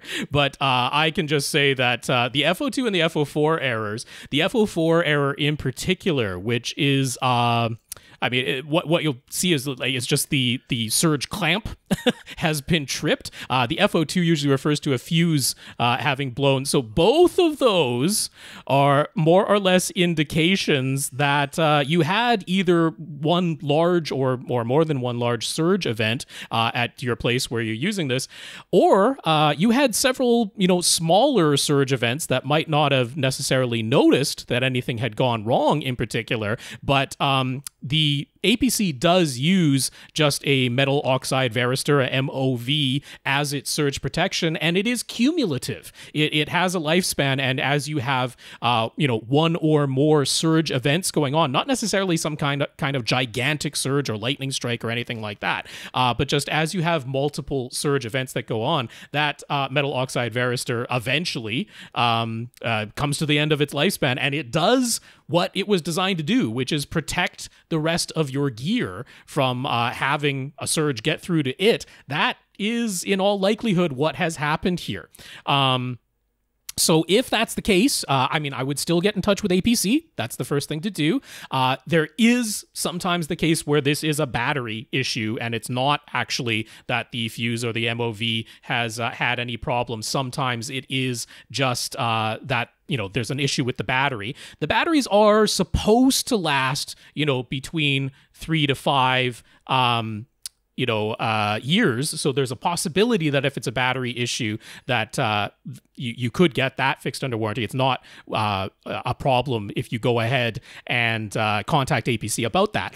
But uh, given what those errors mean uh, the likelihood is that you had some surge events going on. And you wouldn't necessarily expect to have that replaced under warranty because the the device did what it's supposed to do. It sacrificed itself so that your other equipment that it's protecting could live. So either way, get in touch with APC. Uh, but it definitely could be the case that what went on there uh, was that it did exactly what a surge protector is supposed to do, and it sacrificed itself uh, to save something else. And just being aware that it is those those MOVs that are cumulative as strikes happen through over the couple of years that you've had it. Uh, sometimes small strikes uh, that cumulative effect eventually causes that MOV to uh, melt and it breaks the connection. And one thing I like about APC uh, protection products is once that MOV trips, it doesn't let the electricity through. There are other surge protectors that essentially open instead of closing and they let you keep using it, but now you have no surge protection after that MOV is gone. APC does it the correct way, the safer way, which is it closes it so that nothing gets through. And it's like, hey, something's wrong. And that's what those F error messages are telling you. Yeah. It's very exciting. I heard parts of that. That's right. So that- I'm that's sure you'll listen back afterwards. That's what Tom I'm always going does. to. Um, so I'm going to press a button and it might delete. It might stop our call. You'll have to call me right back. Okay. we'll see what goes Because on. We're having some technical issues as We're we having go some technical issues. So my internet, like I'm wireless right now. My wireless Gotcha. connection never dropped, but my internet dropped, which means it Oh. came from the company. Okay. But right now, Skype is you are calling me Oh, right now. okay. Can you stop calling me? Uh, there's nothing I can do on my end, so we can Okay, hang up I'm this gonna call. hit the. I'm gonna hit. The, I'm gonna hit, hit the hang up on this and see what happens. All right. Okay, it's it's it's. I don't know what's happening here. Fun you stuff. Is it away. refusing to hang up? No, I think I got it. Okay. Okay, so we were back. Yep. And we're on to Dazz. Dazz.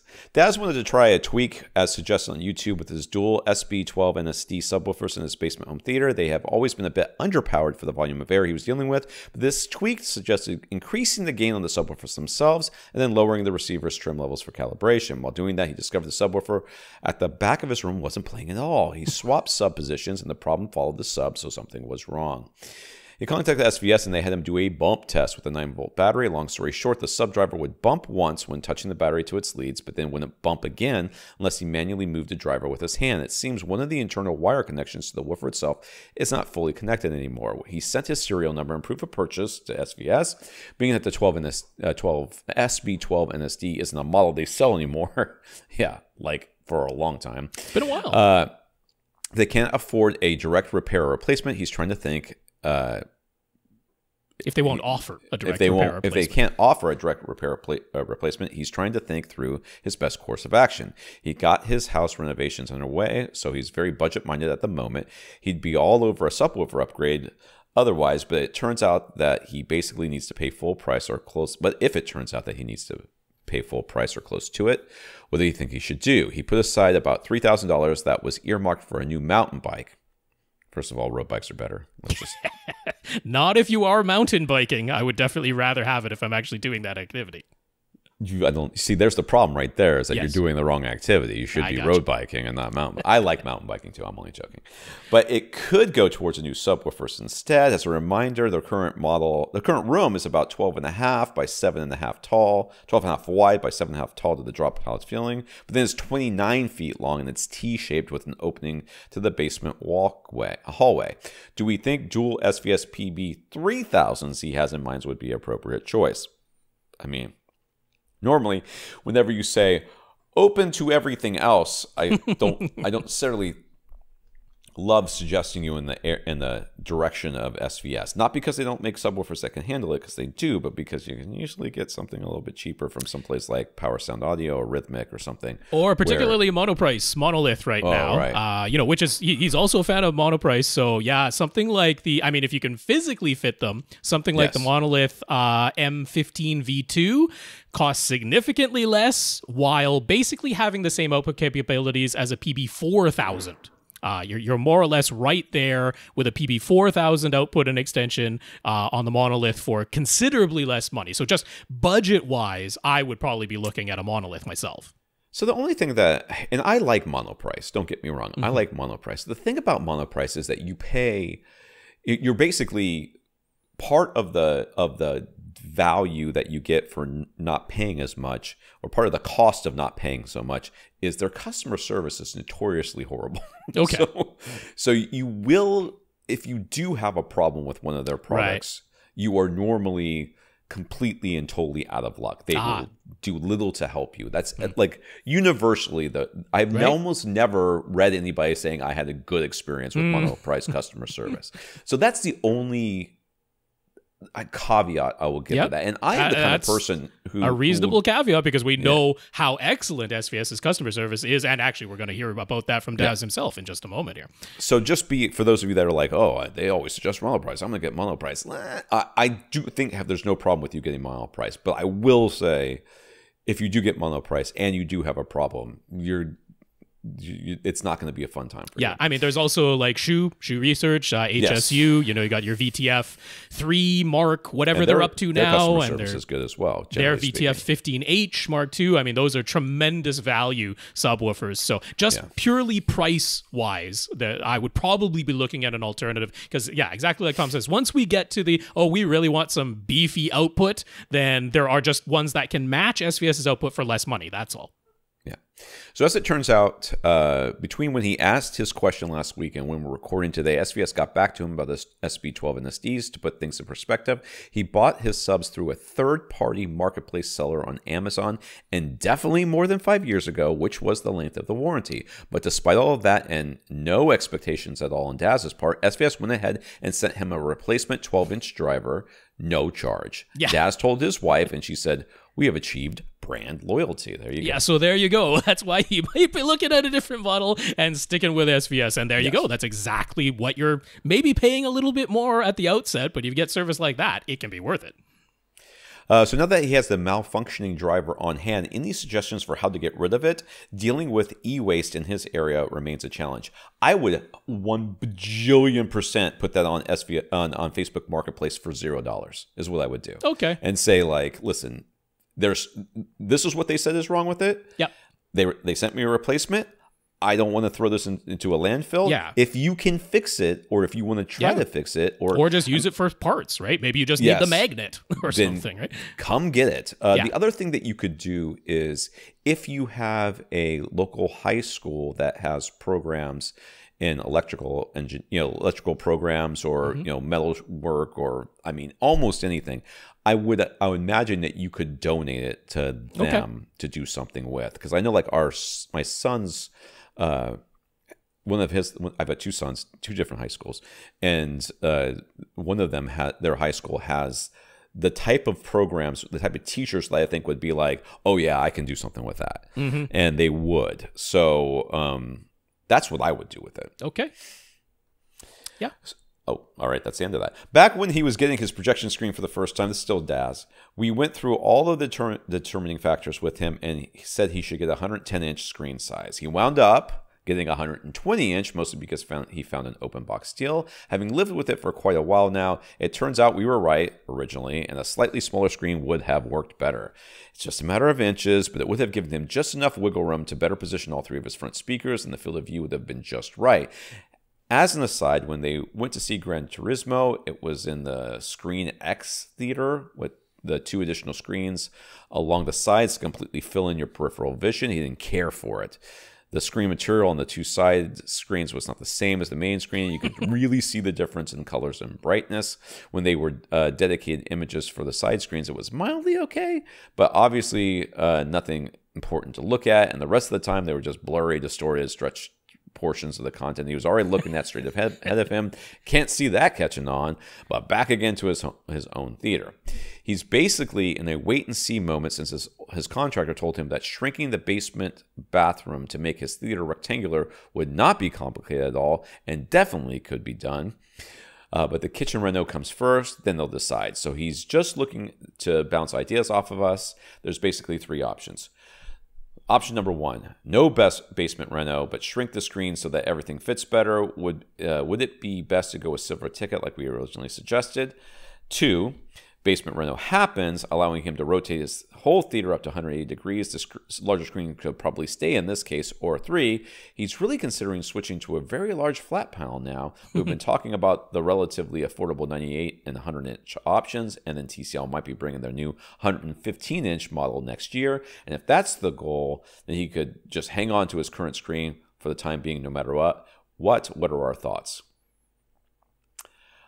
I like option three. I'm gonna, I'm gonna be yeah, there's that. Yeah. I'm going to be honest with you. As much as I think that, I mean, so you are right now at the point where you're like, eh, I want to change things around a little bit. Things are going to get changed around. No matter what you did with the basement reno, hmm I kind of still feel like the real direction of home theater is ultra short throw projectors, which I think are going to be niche forever and never ever really be never really catch on, and it's going to be lar- very large flat panel displays. That is the future. That is everybody's, not just yours. It's everybody's. All these people are like, I'm never giving up my projection setup. Shut up. You are. You're I mean, gonna when it gets big enough. if we're talking field of view and you're Yes. like, well, I went with the 120 and I actually ended up wanting my seats just a little farther back than I had originally planned. Yeah. Turns out 110 would have been perfect. I mean, if you take a 98 inch or the Hisense 100 inch and put it on a TV stand instead of mounting it completely flat on the wall, you're going to have the same field of view as that 110 inch without having moved your seat. you don't you don't have to move your seat at all. You're just going to put the TV on a stand instead of wall mounting it, or put it on a uh, slightly articulating mount. Uh, Yeah. Although once you get to that screen size, you do have to be careful about just structural integrity because the 100 inch screens are pretty heavy. Um, but you know, putting that on a TV stand can do this with a minimum of changes. So for the moment, for the moment, you have Renos that you've got an important one in the kitchen that hasn't even started yet. That's priority number one. I I would my recommendation, what I would do is I'm not touching the theater right now. Forget it. I am standing pat. I am not buying a new screen. I am not buying the new TV even right now. I'm standing pat with what I have, and we're gonna see how these renos go. But after that, I agree with Tom. I would be leaning pretty strong uh, because I mean we know that his theater, as nice as it is, he's done a really nice job in his basement theater. But there are people coming and going out of the basement door frequently. It is not 100% blacked out. Like what you can do with now a 98 inch TCL or a 100 inch Hisense, and like that, that's the way I would go. So I am if, telling you, if- I am never buying another bulb for this projector. right, yeah, I'm going to tell you that right now. That's Yep. not going to happen. those are I our have to- thoughts, Dazz. I have to. This bulb will probably last me another three or five, three years probably. it could be. Yeah, two years. And I just got to make sure that my house isn't that there's nothing terrible that happens to the house. Right. So I, I'll have I'll have another kid out of the college that we won't be you go. paying for. We'll have a little bit extra money around here, and I'm going to be like, I'm gonna, I'm gonna, I'm going to start sowing those seeds, talking about that. Sounds like a good idea. All right, Rob, not this Rob, different Rob. Do we have more than one Rob? Do I have to say the last initial here? Oh, there are more than one Wobs. Yes, yes. So. Okay, so or uh, not not this week though. I guess no. So sorry, Okay, so this, okay, this is Rob. If Misunderstood If, if what you your name meant is Rob and you're not sure if this is your question, you're about to find out. That's right. Rob has recently moved into a new house. He can finally install his full 7.2.4 speaker system, but he isn't keen on making any large holes in the ceiling. So his four for for his so for his four that is a lot of fuck Sorry. overhead speakers, he's opting to install them as heights instead of getting in ceilings. He already owns four Arendal sealed, six inch deep, 1961 bookshelf speakers. He wants to uh, to wall mount them up high. These particular speakers are a little different than uh, in that on the back they include a 100 by 100 Ves- Visa Vesa Vesa right. I always say Visa, but I mean Visa? VESA. Yeah. VESA, anyways. The mounting holes rather than the typical keyhole mount or single or double threaded insert. Arendal sells their own Visa Vesa 100 wall mount, but it's only is flush mount only. And Rob wants to mount uh, that can s- tilt and swivel so that he can aim his height speakers. Probably doesn't need that, but whatever. He found this pair of speaker wall mounts from Pyle for $32. The included mounting bracket has holes that would fit uh, two out of the four Visa mounting holes, but not all four. He likes that the adjustments lock into place at fixed increments rather than being fully adjustable and relying on friction. But his Arendal speakers only weigh about 11 pounds, so maybe that isn't vital. These Pyle mounts can be adjusted to either tilt or swivel, not both. So can we point to any Visa, Vesa, whatever, 100 mounts that we think would work well for him? I don't know. So I, I don't look at mean, these bookshelf speakers, honestly. if you did go with those Pyle wall mounts, uh, there's there's no problem just using two instead of all four because the weight of the speakers is not so dramatic that there's going to be any sort of worry about having two of those uh, screws secured rather than all four. That is not an issue. Um, I mean, to me, I would be perfectly fine having your height speakers, you know, coming straight out of the front and back wall and then just angled down slightly. So if you like the securement of those Pyle mounts, the price certainly is very affordable. Uh, so I would have no real problem with that. The only thing I will mention, though, is the base where the Pyle mount connects to the wall is like wider than a stud, uh, but not wide enough to go across two studs. So uh, I'm not super like crazy about the base plate that goes against the wall side with that Pyle mount. You kind of want to, I don't know, maybe install a flat piece of wood that spans two studs and then screw this base into that. Uh, something along those lines. Uh, I certainly wouldn't want to rely on wall anchors when you have this much of a lever coming down. Even though the speaker might only be about 11 pounds, if you extend that Pyle wall mount at all, you got quite a lever going Yeah. down there, and I wouldn't want to rely on wall anchors just for that. So, uh, i i- all of that said, I would be okay with that. But if you just go over to uh, Monoprice, they just have. I mean, the thing is, if you were looking up speaker wall mounts, that's the wrong place to look. You want to look for small TV mounts because that's where you're going to find the Visa mounts. So, um, over at Monoprice, they just have one uh, fully articulating, so this can extend from the wall uh, whatever distance you need, and then it can tilt, it can swivel, it can rotate even if you want to do that. Um, Twenty dollars a piece, so a little bit more expensive to get the pair, but not drastically so. However, with that particular model that's only $20 a piece, the tilting angle maximum is plus or minus 20 degrees. So if you have this mounted right up high and you wanted something closer to a 30 or 45 degree tilt downward, so that's really aiming down at you, uh, the $20 each one just doesn't have that ability. So Monoprice has a little bit more expensive one, $31.50 each. So I mean, still relatively affordable. Yeah. This one lets you tilt it uh, as much as 45 degrees up, which you would never use, but as much as 90 degrees down. so I mean, it can point straight down. Now, this is not like completely locking like the Pyle one. This is friction, but it is a full screw. It's not like a plastic disc or something like that, like a lot of them are. This is a, a full metal screw that goes in at your tilting angle. Plus, it lets you swivel or rotate or extend from the walls. So, something like that, if you want more adjustment capability, a little bit more money. I mean, basically, the cost for one of these is about the same price as the pair of the Pyle. Uh, but um, any of those could basically do what you need. So, those are some options. So that being said, and I agree with everything Rob said as far as all this tilting. First of all, I think it's going to look goofy with these things like extend it from the wall and tilt it down uh, or whatever. But you can also sneak, sneak them back against the wall. So, there's only a three inch gap between the, the back of the speaker and, Right. the, and the wall. So, Um, either way. I I don't really see that sonically you're going to find a huge difference between just flush mounting them to the wall with the Okay. the speaker mounts that you're talking about and not flush mounting it you know having some hmm. sort of tilt to them. I I feel like you're going to go, go directly towards the Reddit point every speaker at my face There's that. thing and I feel like that's the wrong direction to go. These are meant to be diffuse or more diffuse. Mm-hmm. You're already mounting them up in what what arguably would be called for a 7.2.4 configuration. That's right. Uh, a little bit non-optimal as far as you know. You we'd rather have them on the ceiling and a sure. little bit slighter eh, more forward. So just getting the the the mounts, the flush mounts, mounting them above or slightly outside of your main speakers and on the front and the back wall, Mm-hmm. I think it'd probably be fine. I might suggest turning them upside down if you did that, Sure. just to keep Tweeters the tweeter closer.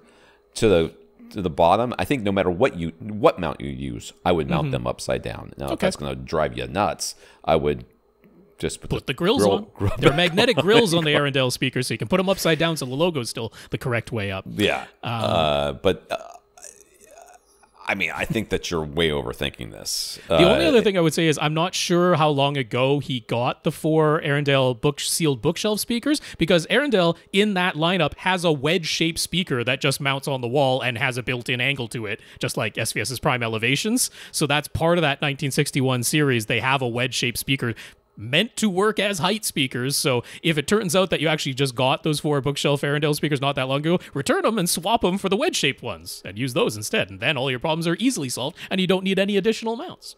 There you go. Uh, on a different topic, he's got some fancy audiophile headphones. That's his words, not ours. the ZMF Verite closed back headphones, along with ZMF Pendant SC tube amp to power them. Sounds fancy, I guess. Yeah. Uh, he has used them at three different home and work locations prior to moving to his new house. They've always been sensitive to radio frequency interference because they're audiophile. So why would we? why would we build in any shielding? When yes, right. it, the problem is you're you should be in a Faraday cage. I mean, why are you listening to them in the open room? You neophyte.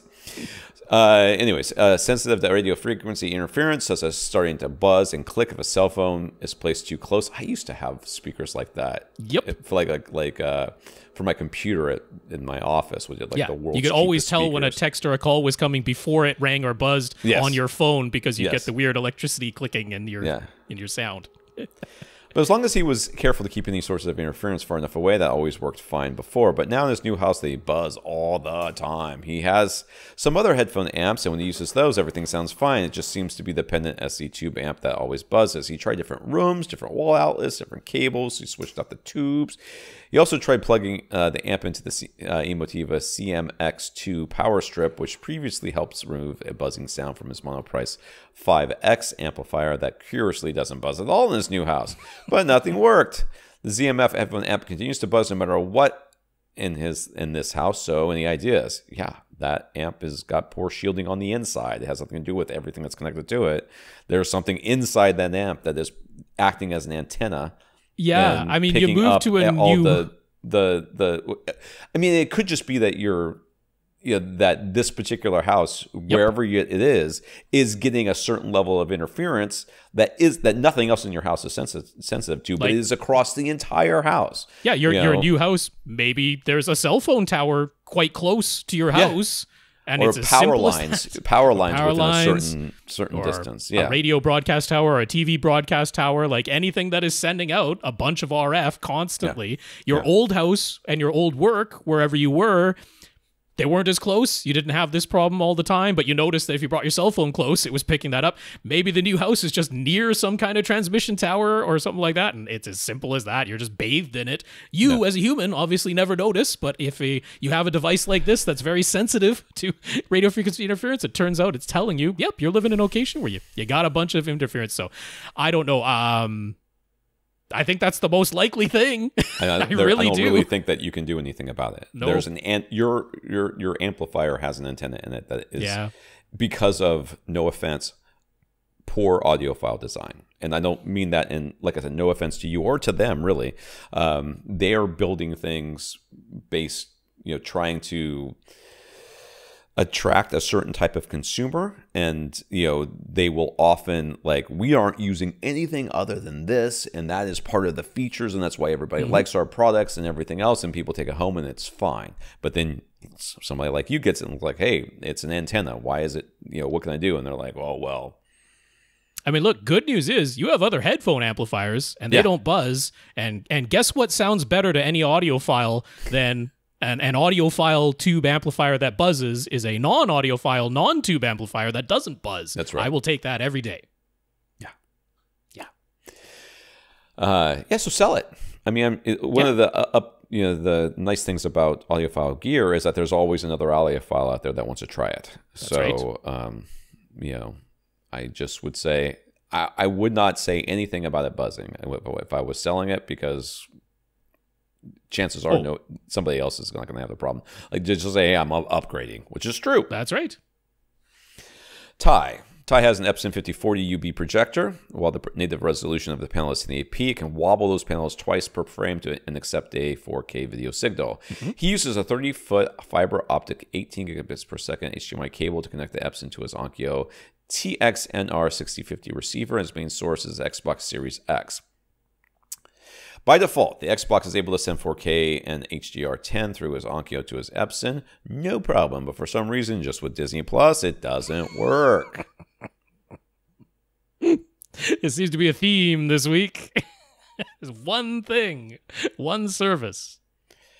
When the app, when the cylinder version comes out, it's going to work. Ah, ah, that's gonna- yeah, about that. the- it's going to that's fix the the, whole thing. It's That's just you point the cylinder directly at the projector and it'll be fine. Uh, Disney Plus will only send 1080p, which also means no HDR, no Atmos. Netflix is fine. Games are fine. It's just Disney Plus. Is that just because Epson can't do Dolby Vision? Does Disney Plus also require Dolby Vision support to, to send 4K and Atmos? Definitely not. If, if that were true, then no Samsungs would be able Yeah. to play 4K Atmos uh, because they don't do Dolby Vision. It, it, it is not to do with Dolby Vision. That is not definitely not the issue. He asked, does he need to get an HD Fury? It seems like the HD Fury doctor. Is that what that is? Yeah, is the Doctor HDMI. Oh, HDM Fury Doctor HDMI device would do the trick, but it costs $130. He found some other EDID management devices for about half that price. Would one of those work just as well in his case? I will tell you, I, from my reading, and this is unrelated to this question because I don't know the Okay. answer to this question, but my, from my reading of people who have gotten HDMI split, like uh, audio extractors and stuff, Uh-huh. everybody says, "Hey, the HD Fury stuff works." Like, Right. but it's expensive, but it works. Yeah. And it's like other people are like, yeah, but I got this thing on Amazon and it works just fine for me. And then uh, somebody else will be like, I got that and it was crap because this is all the stuff it did. And the other person will say, well, I didn't notice any of that. And which means they have no idea what that other person just said. like they got audio and they stopped paying attention at that point. Right. So yeah, I, I, I mean, I don't know. I so I I don't know why specifically Disney Plus, Plus. is not working in this case because look, I I have managed to play 4K and HDR on an Xbox Series X from Disney Plus, so it's not like inherent to that app or something like that or inherent to the Xbox Series X. Could it be something to do with not getting the correct EDID from the Epson going through the fiber optic cable through an Onkyo before it gets the Xbox? I mean, absolutely. Seems unlikely. I mean, if everything's it working for everything else. I know, I know. Yeah, well, yeah, that's just it. I mean, the Xbox apparently is like, yep, you're connected to a 4K HDR10 display. The other things work. I'm not sure why this is going wrong with Disney Plus specifically. There isn't really anything that could be in the web or mobile app because Disney Plus is 4K HDR Atmos all the time. They don't have different tiers or Yeah. things like that for you to go through. So, honestly, my thought on this is you didn't want to pay $130 you were willing to pay 65 or 70 just get an amazon fire or or some other streaming device. Get a roku. You know maybe that's not quite enough money to get an apple tv 4k i mean get an apple tv 4k if you're willing to spend about $100 but like i would just take whatever money you were possibly thinking on spending on an hd fury or some other edid management device. Forget that. Just get a streaming stick. That's what i would do. Because you know what? The streaming stick uses a whole lot less electricity when you're streaming video than the Xbox Series X does. Um, and like just the issues with the audio that the Xbox Series X still has, and that like you've got uh, an Onkyo NR6050 receiver, you've got additional HDMI ports. That's not the issue. So I would I would absolutely take 50 bucks and go get a Roku or an Amazon Fire TV and solve this that way. Yeah, I, I'll be honest with you. I am moving, like mentally, I am starting to move my way away from the Xbox and get ready to start using the Roku Yeah. that Ultra that I have uh, because I'm not really watching Twitch anymore. The kids don't really watch it anymore. It's kind of Yeah. gone gone away from our n- normal viewing habits, and the Roku is just better. There you just go. works better. Yeah. Michael. Michael has two rows of seats in his theater, but until recently he's only had a single pair of surround speakers, a pair of SVS Ultra bookshelves. That seems overkill for surrounds, but okay. During SVS's labor sale, he picked up a pair of Prime bookshelf speakers. He'd like to use those as a second pair of surround speakers for his back row of seats. At the moment, moment all of his speakers are powered by his Denon X6700H receiver. He doesn't have any external amps, so what will happen if he wires both the SVS Ultra and SVS Prime bookshelf speakers to the same amplifier? Any problems since they aren't identical speakers? I mean, they could very well be different volumes. they could play at slightly different volume levels. Yes, yeah, that that would be. Uh, in fact, we would expect them to because they don't have exactly the same uh, efficiency, Sensitivity the and exact same efficiency, yeah. sensitivity. Uh, so yeah, I- I'm gonna save what I think is the slightly off kilter but effective solution because he asks specifically about that. So I'm gonna save that just for a moment until we get to that question. I know what Um, it is. I know yep. what you're going to say, and it's Yep. it's it. There's no way that the little bit of OCD I have in my life, my personal ment, my personal psychology, would allow what you're going to say.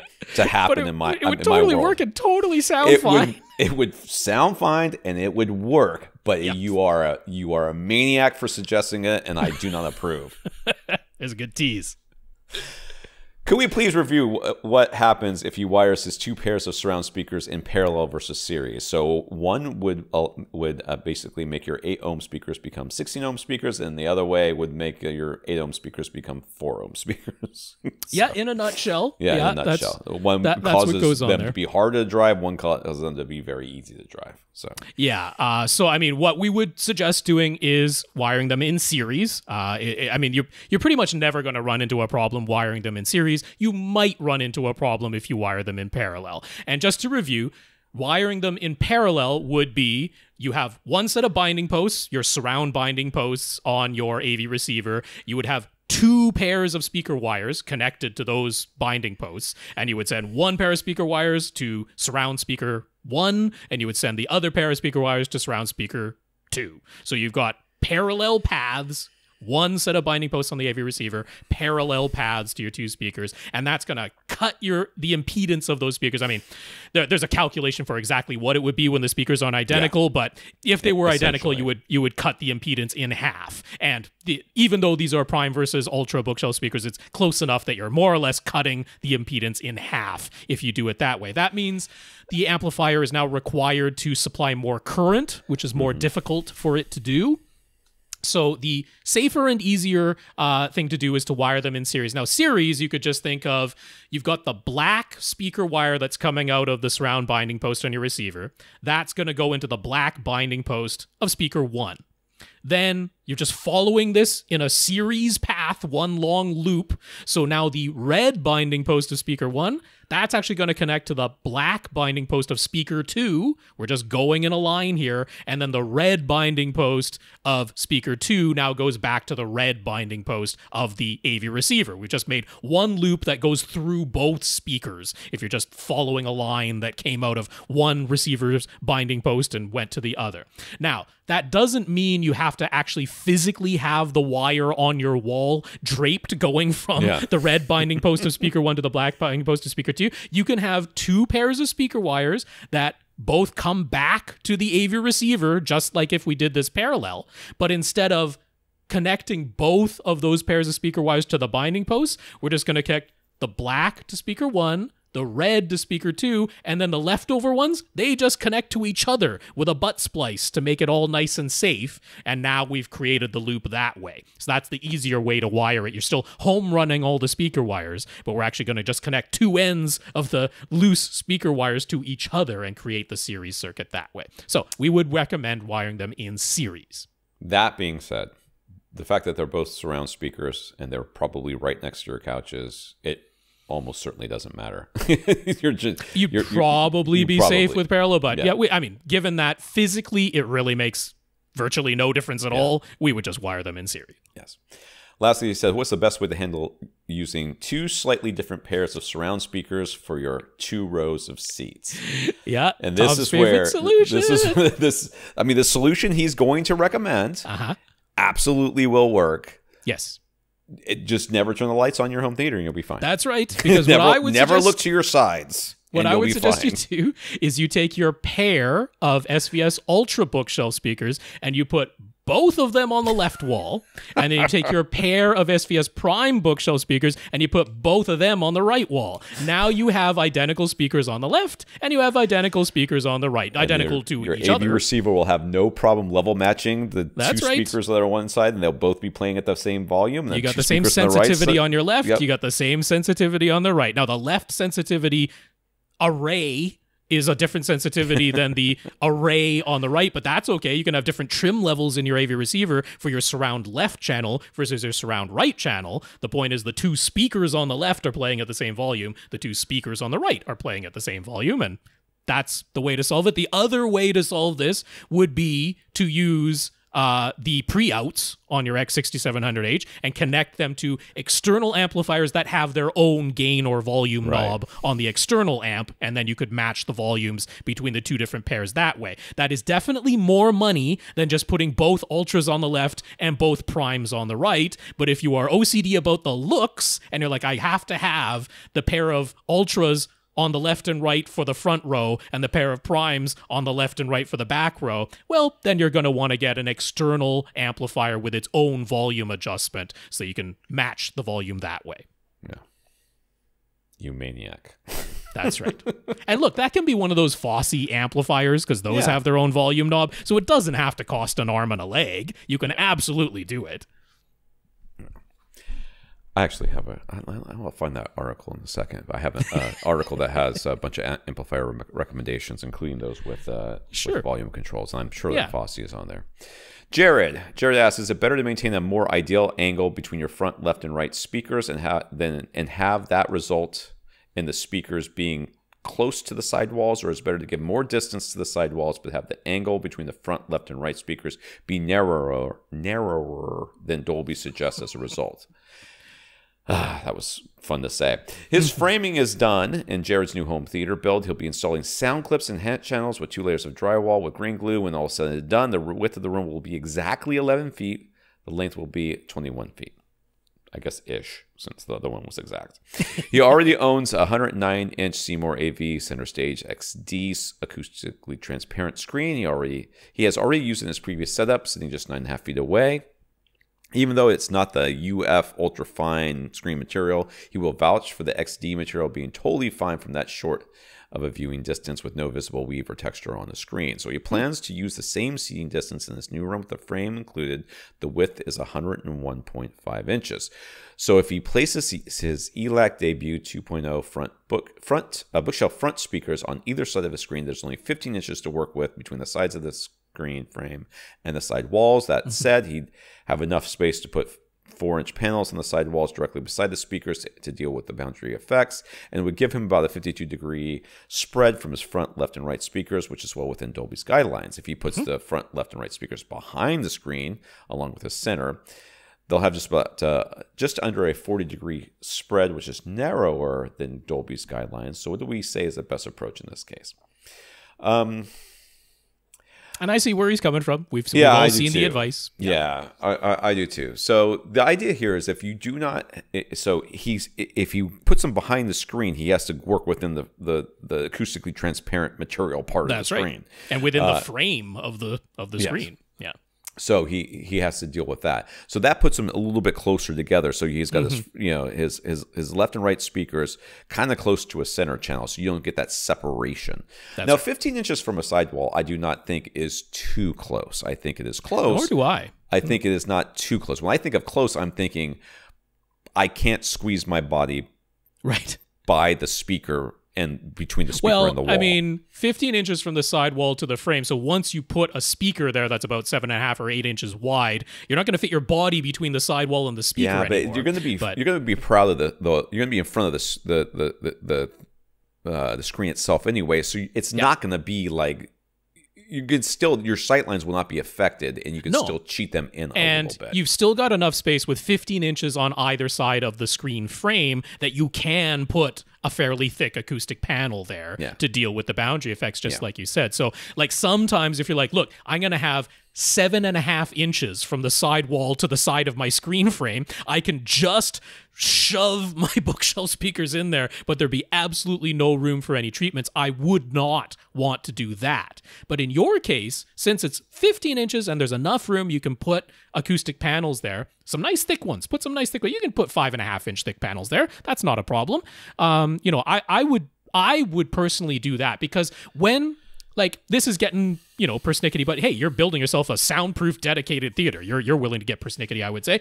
Um you know sometimes the way sounds are mixed is that when a sound hard pans to say just the front left speaker that is supposed to be slightly off screen it is not supposed to be literally the visible edge of Yeah. the left side of the screen. It's supposed to be slightly off screen. So my preference is to have my front left and right speakers just to the outside edges of my screen. And you can absolutely do that as long as you treat exactly like you've suggested doing. That's what I would do. Yes, I completely agree. I think that uh, I would be on the outside. I don't think this is too close.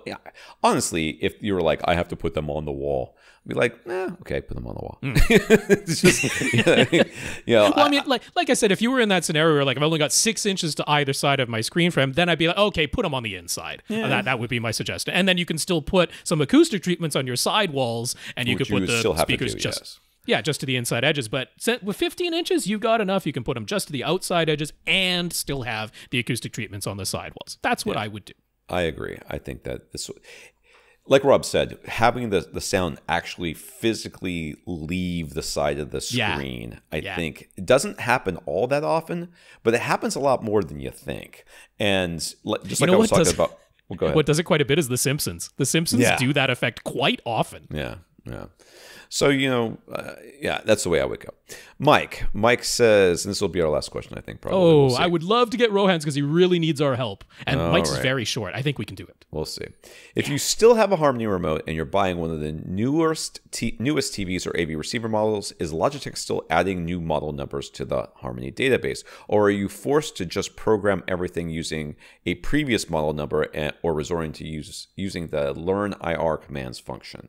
So on AV Gadgets, um, uh, Andrew went through and basically bought a new new to him. Uh, Right. You know, you used Logitech remote and set it up Yeah, someplace from scratch. Yeah. from scratch just to see if it could be done because we're like I don't know. Mm-hmm. And people are you know, like I've read online people are like oh you have to use the app the mobile app because the the whatever he downloaded the the program. He was able to desktop down, software. the, the, the, the desktop so, uh, software, which you do need from time to time. Because I had to Hmm. reprogram my parents' remote the other day, and uh, I needed the desktop software to do it. And he was able to do all that stuff, Mm-hmm. and he did not complain at all about you know, the fact that there were some things not supported. But I don't know how new the gear was, so maybe Rob can address that in particular. Yeah, so I mean, at the moment, Logitech is still updating their code database. Um, that they are still adding new models to it. Like the the newest Denon receivers are in there. Um, you know, some of the newest TVs are in there, so they are at the moment still updating that database. Uh, they are still issuing updates to the Harmony Remote app on your smartphone from time to time. So they haven't completely abandoned the backend support just yet. Now, the day will come eventually when they do. So, um, you know, at that point, hopefully we've got a full on replacement. And then, uh, you know, the workaround. I mean, there were always, always, even when Harmony was in full flight, always some esoteric models out there or country specific models, which would sometimes occur uh, that, you know, they didn't have in their database. At that time, you could contact their support and get it added. That's not really happening so much anymore. So, in those specific cases, you do need- to look for a similar or a different country's model number. Like that happens with TCL TVs fairly often because they use different model numbers in like every different country they're in, and every single one of those model numbers doesn't show up in Harmony's database. But if you can find the similar model from a different country, or very often just the previous model year, that does work perfectly fine because there isn't tremendous difference from year to year what a TV's remote buttons need to be. Uh, so yeah, at the end of it, you can always fall back to the learn IR commands exactly like you said. But for the moment, I would still use a Harmony. They are still updating the database. I know that uh, Andrew said that that I think he he mentions in here when was the last time they updated it. I think it was Well, that was the app specifically, the app, which was like six months ago. But I mean, they are still issuing updates for That's it. good. All right, let's do Rohan and we'll be done. Rohan recently upgraded uh, his old Denon X2000 receiver to the new Marantz SR6015. He is starting to regret having done so, as using the new setup is turning into a bit of a nightmare. Speaker wise, he's just using 5.1 setup. Uh, he has an Ethernet cable plugged into the Marantz, and he makes extensive use of HEOS. The other sources plugged into the Marantz are his Panasonic UB420 Ultra HD Blu-ray player and Amazon uh, Fire TV 4K Max. The problem he's having is that sometimes, for reasons he cannot figure out, it's CEC. it, it, I- I- it is. You've guessed it. I mean, I mean, literally, you read it for reasons he cannot figure out. It's CEC. That is always the answer. My lord. My suspicion is is a specific part of CEC, but yeah, it's yeah. so mad right now. I am so mad. I did. I'm going to link an article uh, for Rohan so that he can commiserate with the fact that. I mean, I think I'm, I'm going to link a couple. I have one that's called um, "Is HDM is home theater dead?" or "What's killing home theater?" or something like that, and it It is HDMI CEC. It is. That is what's killing home theater because of this thing right here, where people are like they they get they they they get to from from you know I have a TV. I have a sound bar. I want the real. I want to get real speakers, and then everything goes to crap because Yes. HDMI CEC starts to like act like a poltergeist in your house. That's right. And, and Rohan is going to very reasonably at this moment in the podcast go, I, don't think it can be because, as we will see in a moment, he has turned HDMI CEC in his Marantz. Or uh, so, uh, yeah, Marantz. He has turned it off there. He, he sent uh, photo evidence that he has turned off HDMI control in his Marantz. But to stick with us, Rohan, it, it's still HDMI CEC. Yeah. Okay. I'm sorry. I didn't mean to, to. I didn't mean to spoil the answer here, but okay. Okay. The problem he's having is that sometimes, for reasons he cannot figure out, no audio comes out of any of his speakers. If he cycles the power on his source device or on the Marantz itself, that usually gets the audio working again. But it's very frustrating to not know what is causing this or how to properly fix it. And nobody on the internet seems to have any idea. I had an idea immediately. Let's go. Help him. We're his only hope. This no sound coming out problem mostly seems to happen when he goes to play music via HEOS. Yup. But it has some, some it has happened the odd time with his Panasonic and his Amazon Fire TV as well. Is it just a hardware issue? He doubts it. He sent oodles of photos of all of the Marantz settings, so he's hoping we have an idea how to fix this.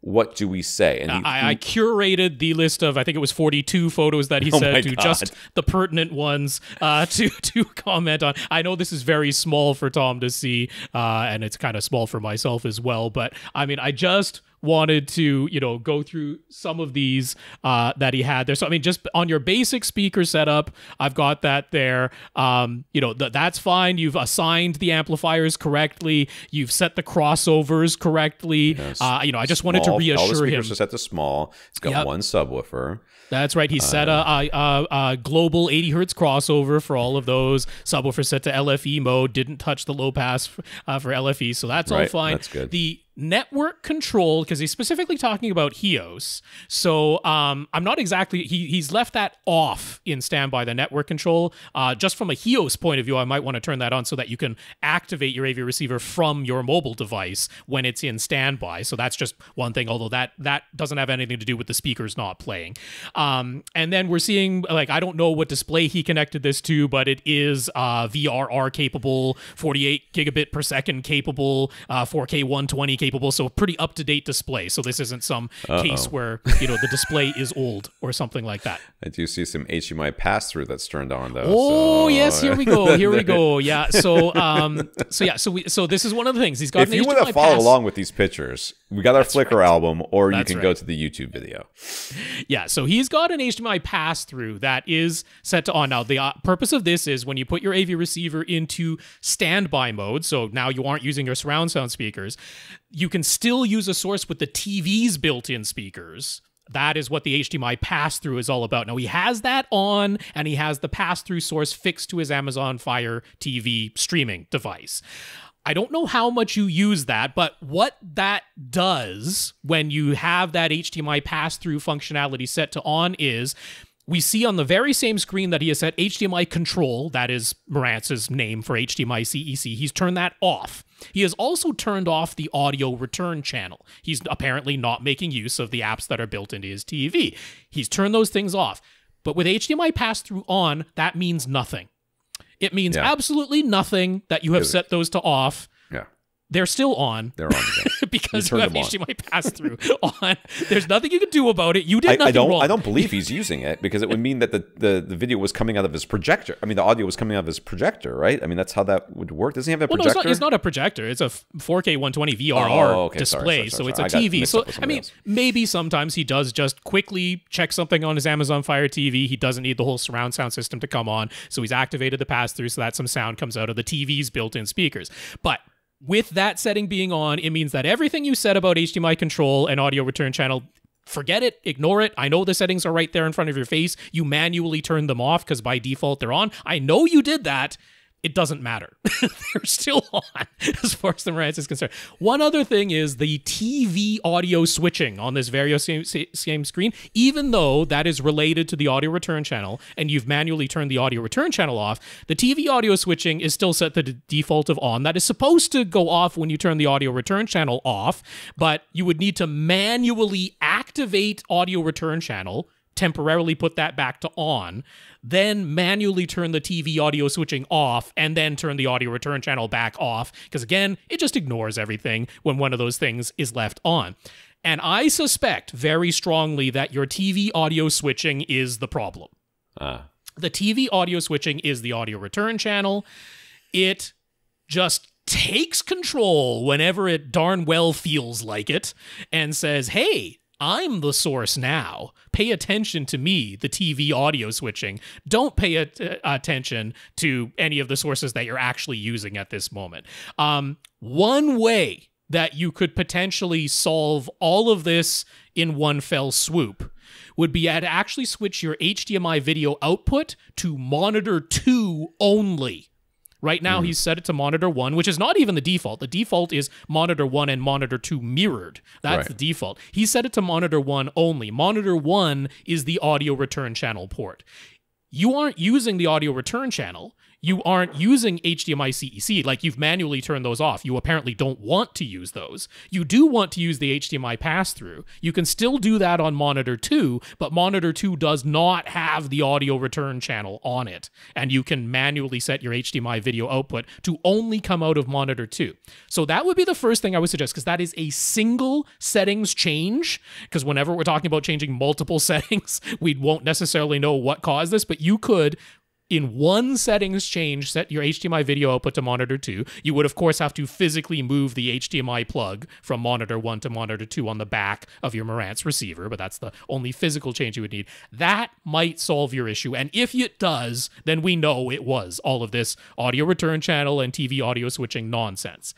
There is another thing I want to draw your attention to though he's gone through and he's like he's only using two of the HDMI inputs on the back of his Marantz. So for convenience, instead of having to manually push a distinct input button on the Marantz remote, he could just put like the cycle through the inputs in order button. And since he only uses two of them, he's gone ahead and manually hidden all of the other HDMI and audio inputs. Those are hidden from the just cycle through inputs when I repeatedly press the input button. It should only be basically toggling between his Panasonic player and his Amazon Right. Fire TV if you hide the TV audio input, which is one of the options, and he's done it, and I don't know why it's an option, because if you hide that option, believe me, everything just goes to hell. like, even if you're never using the TV audio input, the HDMI audio return channel input, even if you're never using, if you hide that input from the cycle through all my inputs thing, just expect everything to go to hell. I don't know why. I don't know why they give you the option to hide it when everything goes to hell when you hide it, but it's there and you did it. And I would definitely recommend not hiding it because it, I don't know why. It just completely causes issues, but it does. So those are the two things I would change. And if that fixes it, then hooray. All right, Rohan, I need you to. I don't. I, I just looked through my emails. I couldn't find his email with this this Okay. this thing in here, but I would like access to all these pictures and permission to use them on AV Gadgets Oh, okay. because I am often looking for menu pictures Yes. and I rarely have access to them. And I have to like go turn on my projector and everything else to go get the menu pictures so that I can take a picture of it and put it on there. So, it, So I can I can certainly forward you the email with all the images. If Rohan, you can just provide Tom permission to use yeah, them on send AV me an Gadgets. email at tom at avgadgets.com that has uh, the permission to use uh, Fantastic. those photos. Would be great. All right, who do we have left? Jim is last on the list there, and you will be first up next week. All right. Um, why does it say green? I don't know what's Huh? Okay. I don't know. I don't know either. All right. Let's thank our Oh, listeners. yeah, that, that was to remind us that something. There was something to do with all I remember was green. I was supposed to remind you like after the podcast to tell me something. Oh, about right, that. right, right, right. That's right. That's Good right. thing I, forgot put that note because I yeah. completely forgot about it. Yes, it's going well. Um, thank our listeners of the week and thank for Ty for going to avrant.com and clicking on the Buy a Cup of Coffee link and sending us a PayPal donation, a monthly PayPal donation. That's right. and our 133 patrons over at patreon.com, inclu- including Bertrand. Thank you very much. Yes, thank you, Ty, for your financial support via PayPal. In fact, automatic monthly. That's fantastic. Thank you so much for doing that. And patreon.com slash AVRant podcast is the place to go to sign up to make an automatic monthly donation that way. The only option is automatic monthly over at Patreon. Uh, so thank you very much to our 133 patrons there. And Bertrand, thank you for continuing to be one of them. So thank those for sending us notes of gratitude from Ty, Dazz, Jared, James, and Rohan. Thank you for thanking us. Yes, thank you, Ty, Dazz, Jared, James, and Rohan. Thank you to everybody who also sent uh, well wishes to Tom and that through Yes. like YouTube and X and wherever the heck else I didn't bother to look and gather those up. I, we we still appreciate those. I'm just too lazy to look anywhere other than email. And uh, big big thank you to everybody who continues to listen and send in your questions. To get your question answered, all you have to do is ask. You ask by emailing us at question at avrant.com. For AV Rant, I'm Tom Andry. And I'm Rob H. Now go out and listen to something.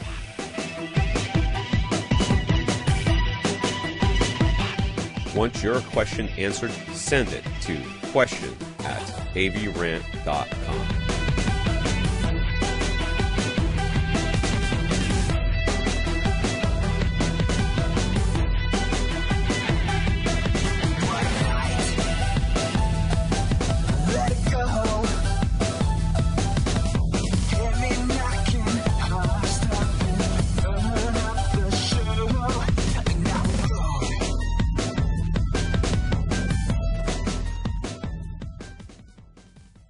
This is AV Rant. Now go out and listen to something.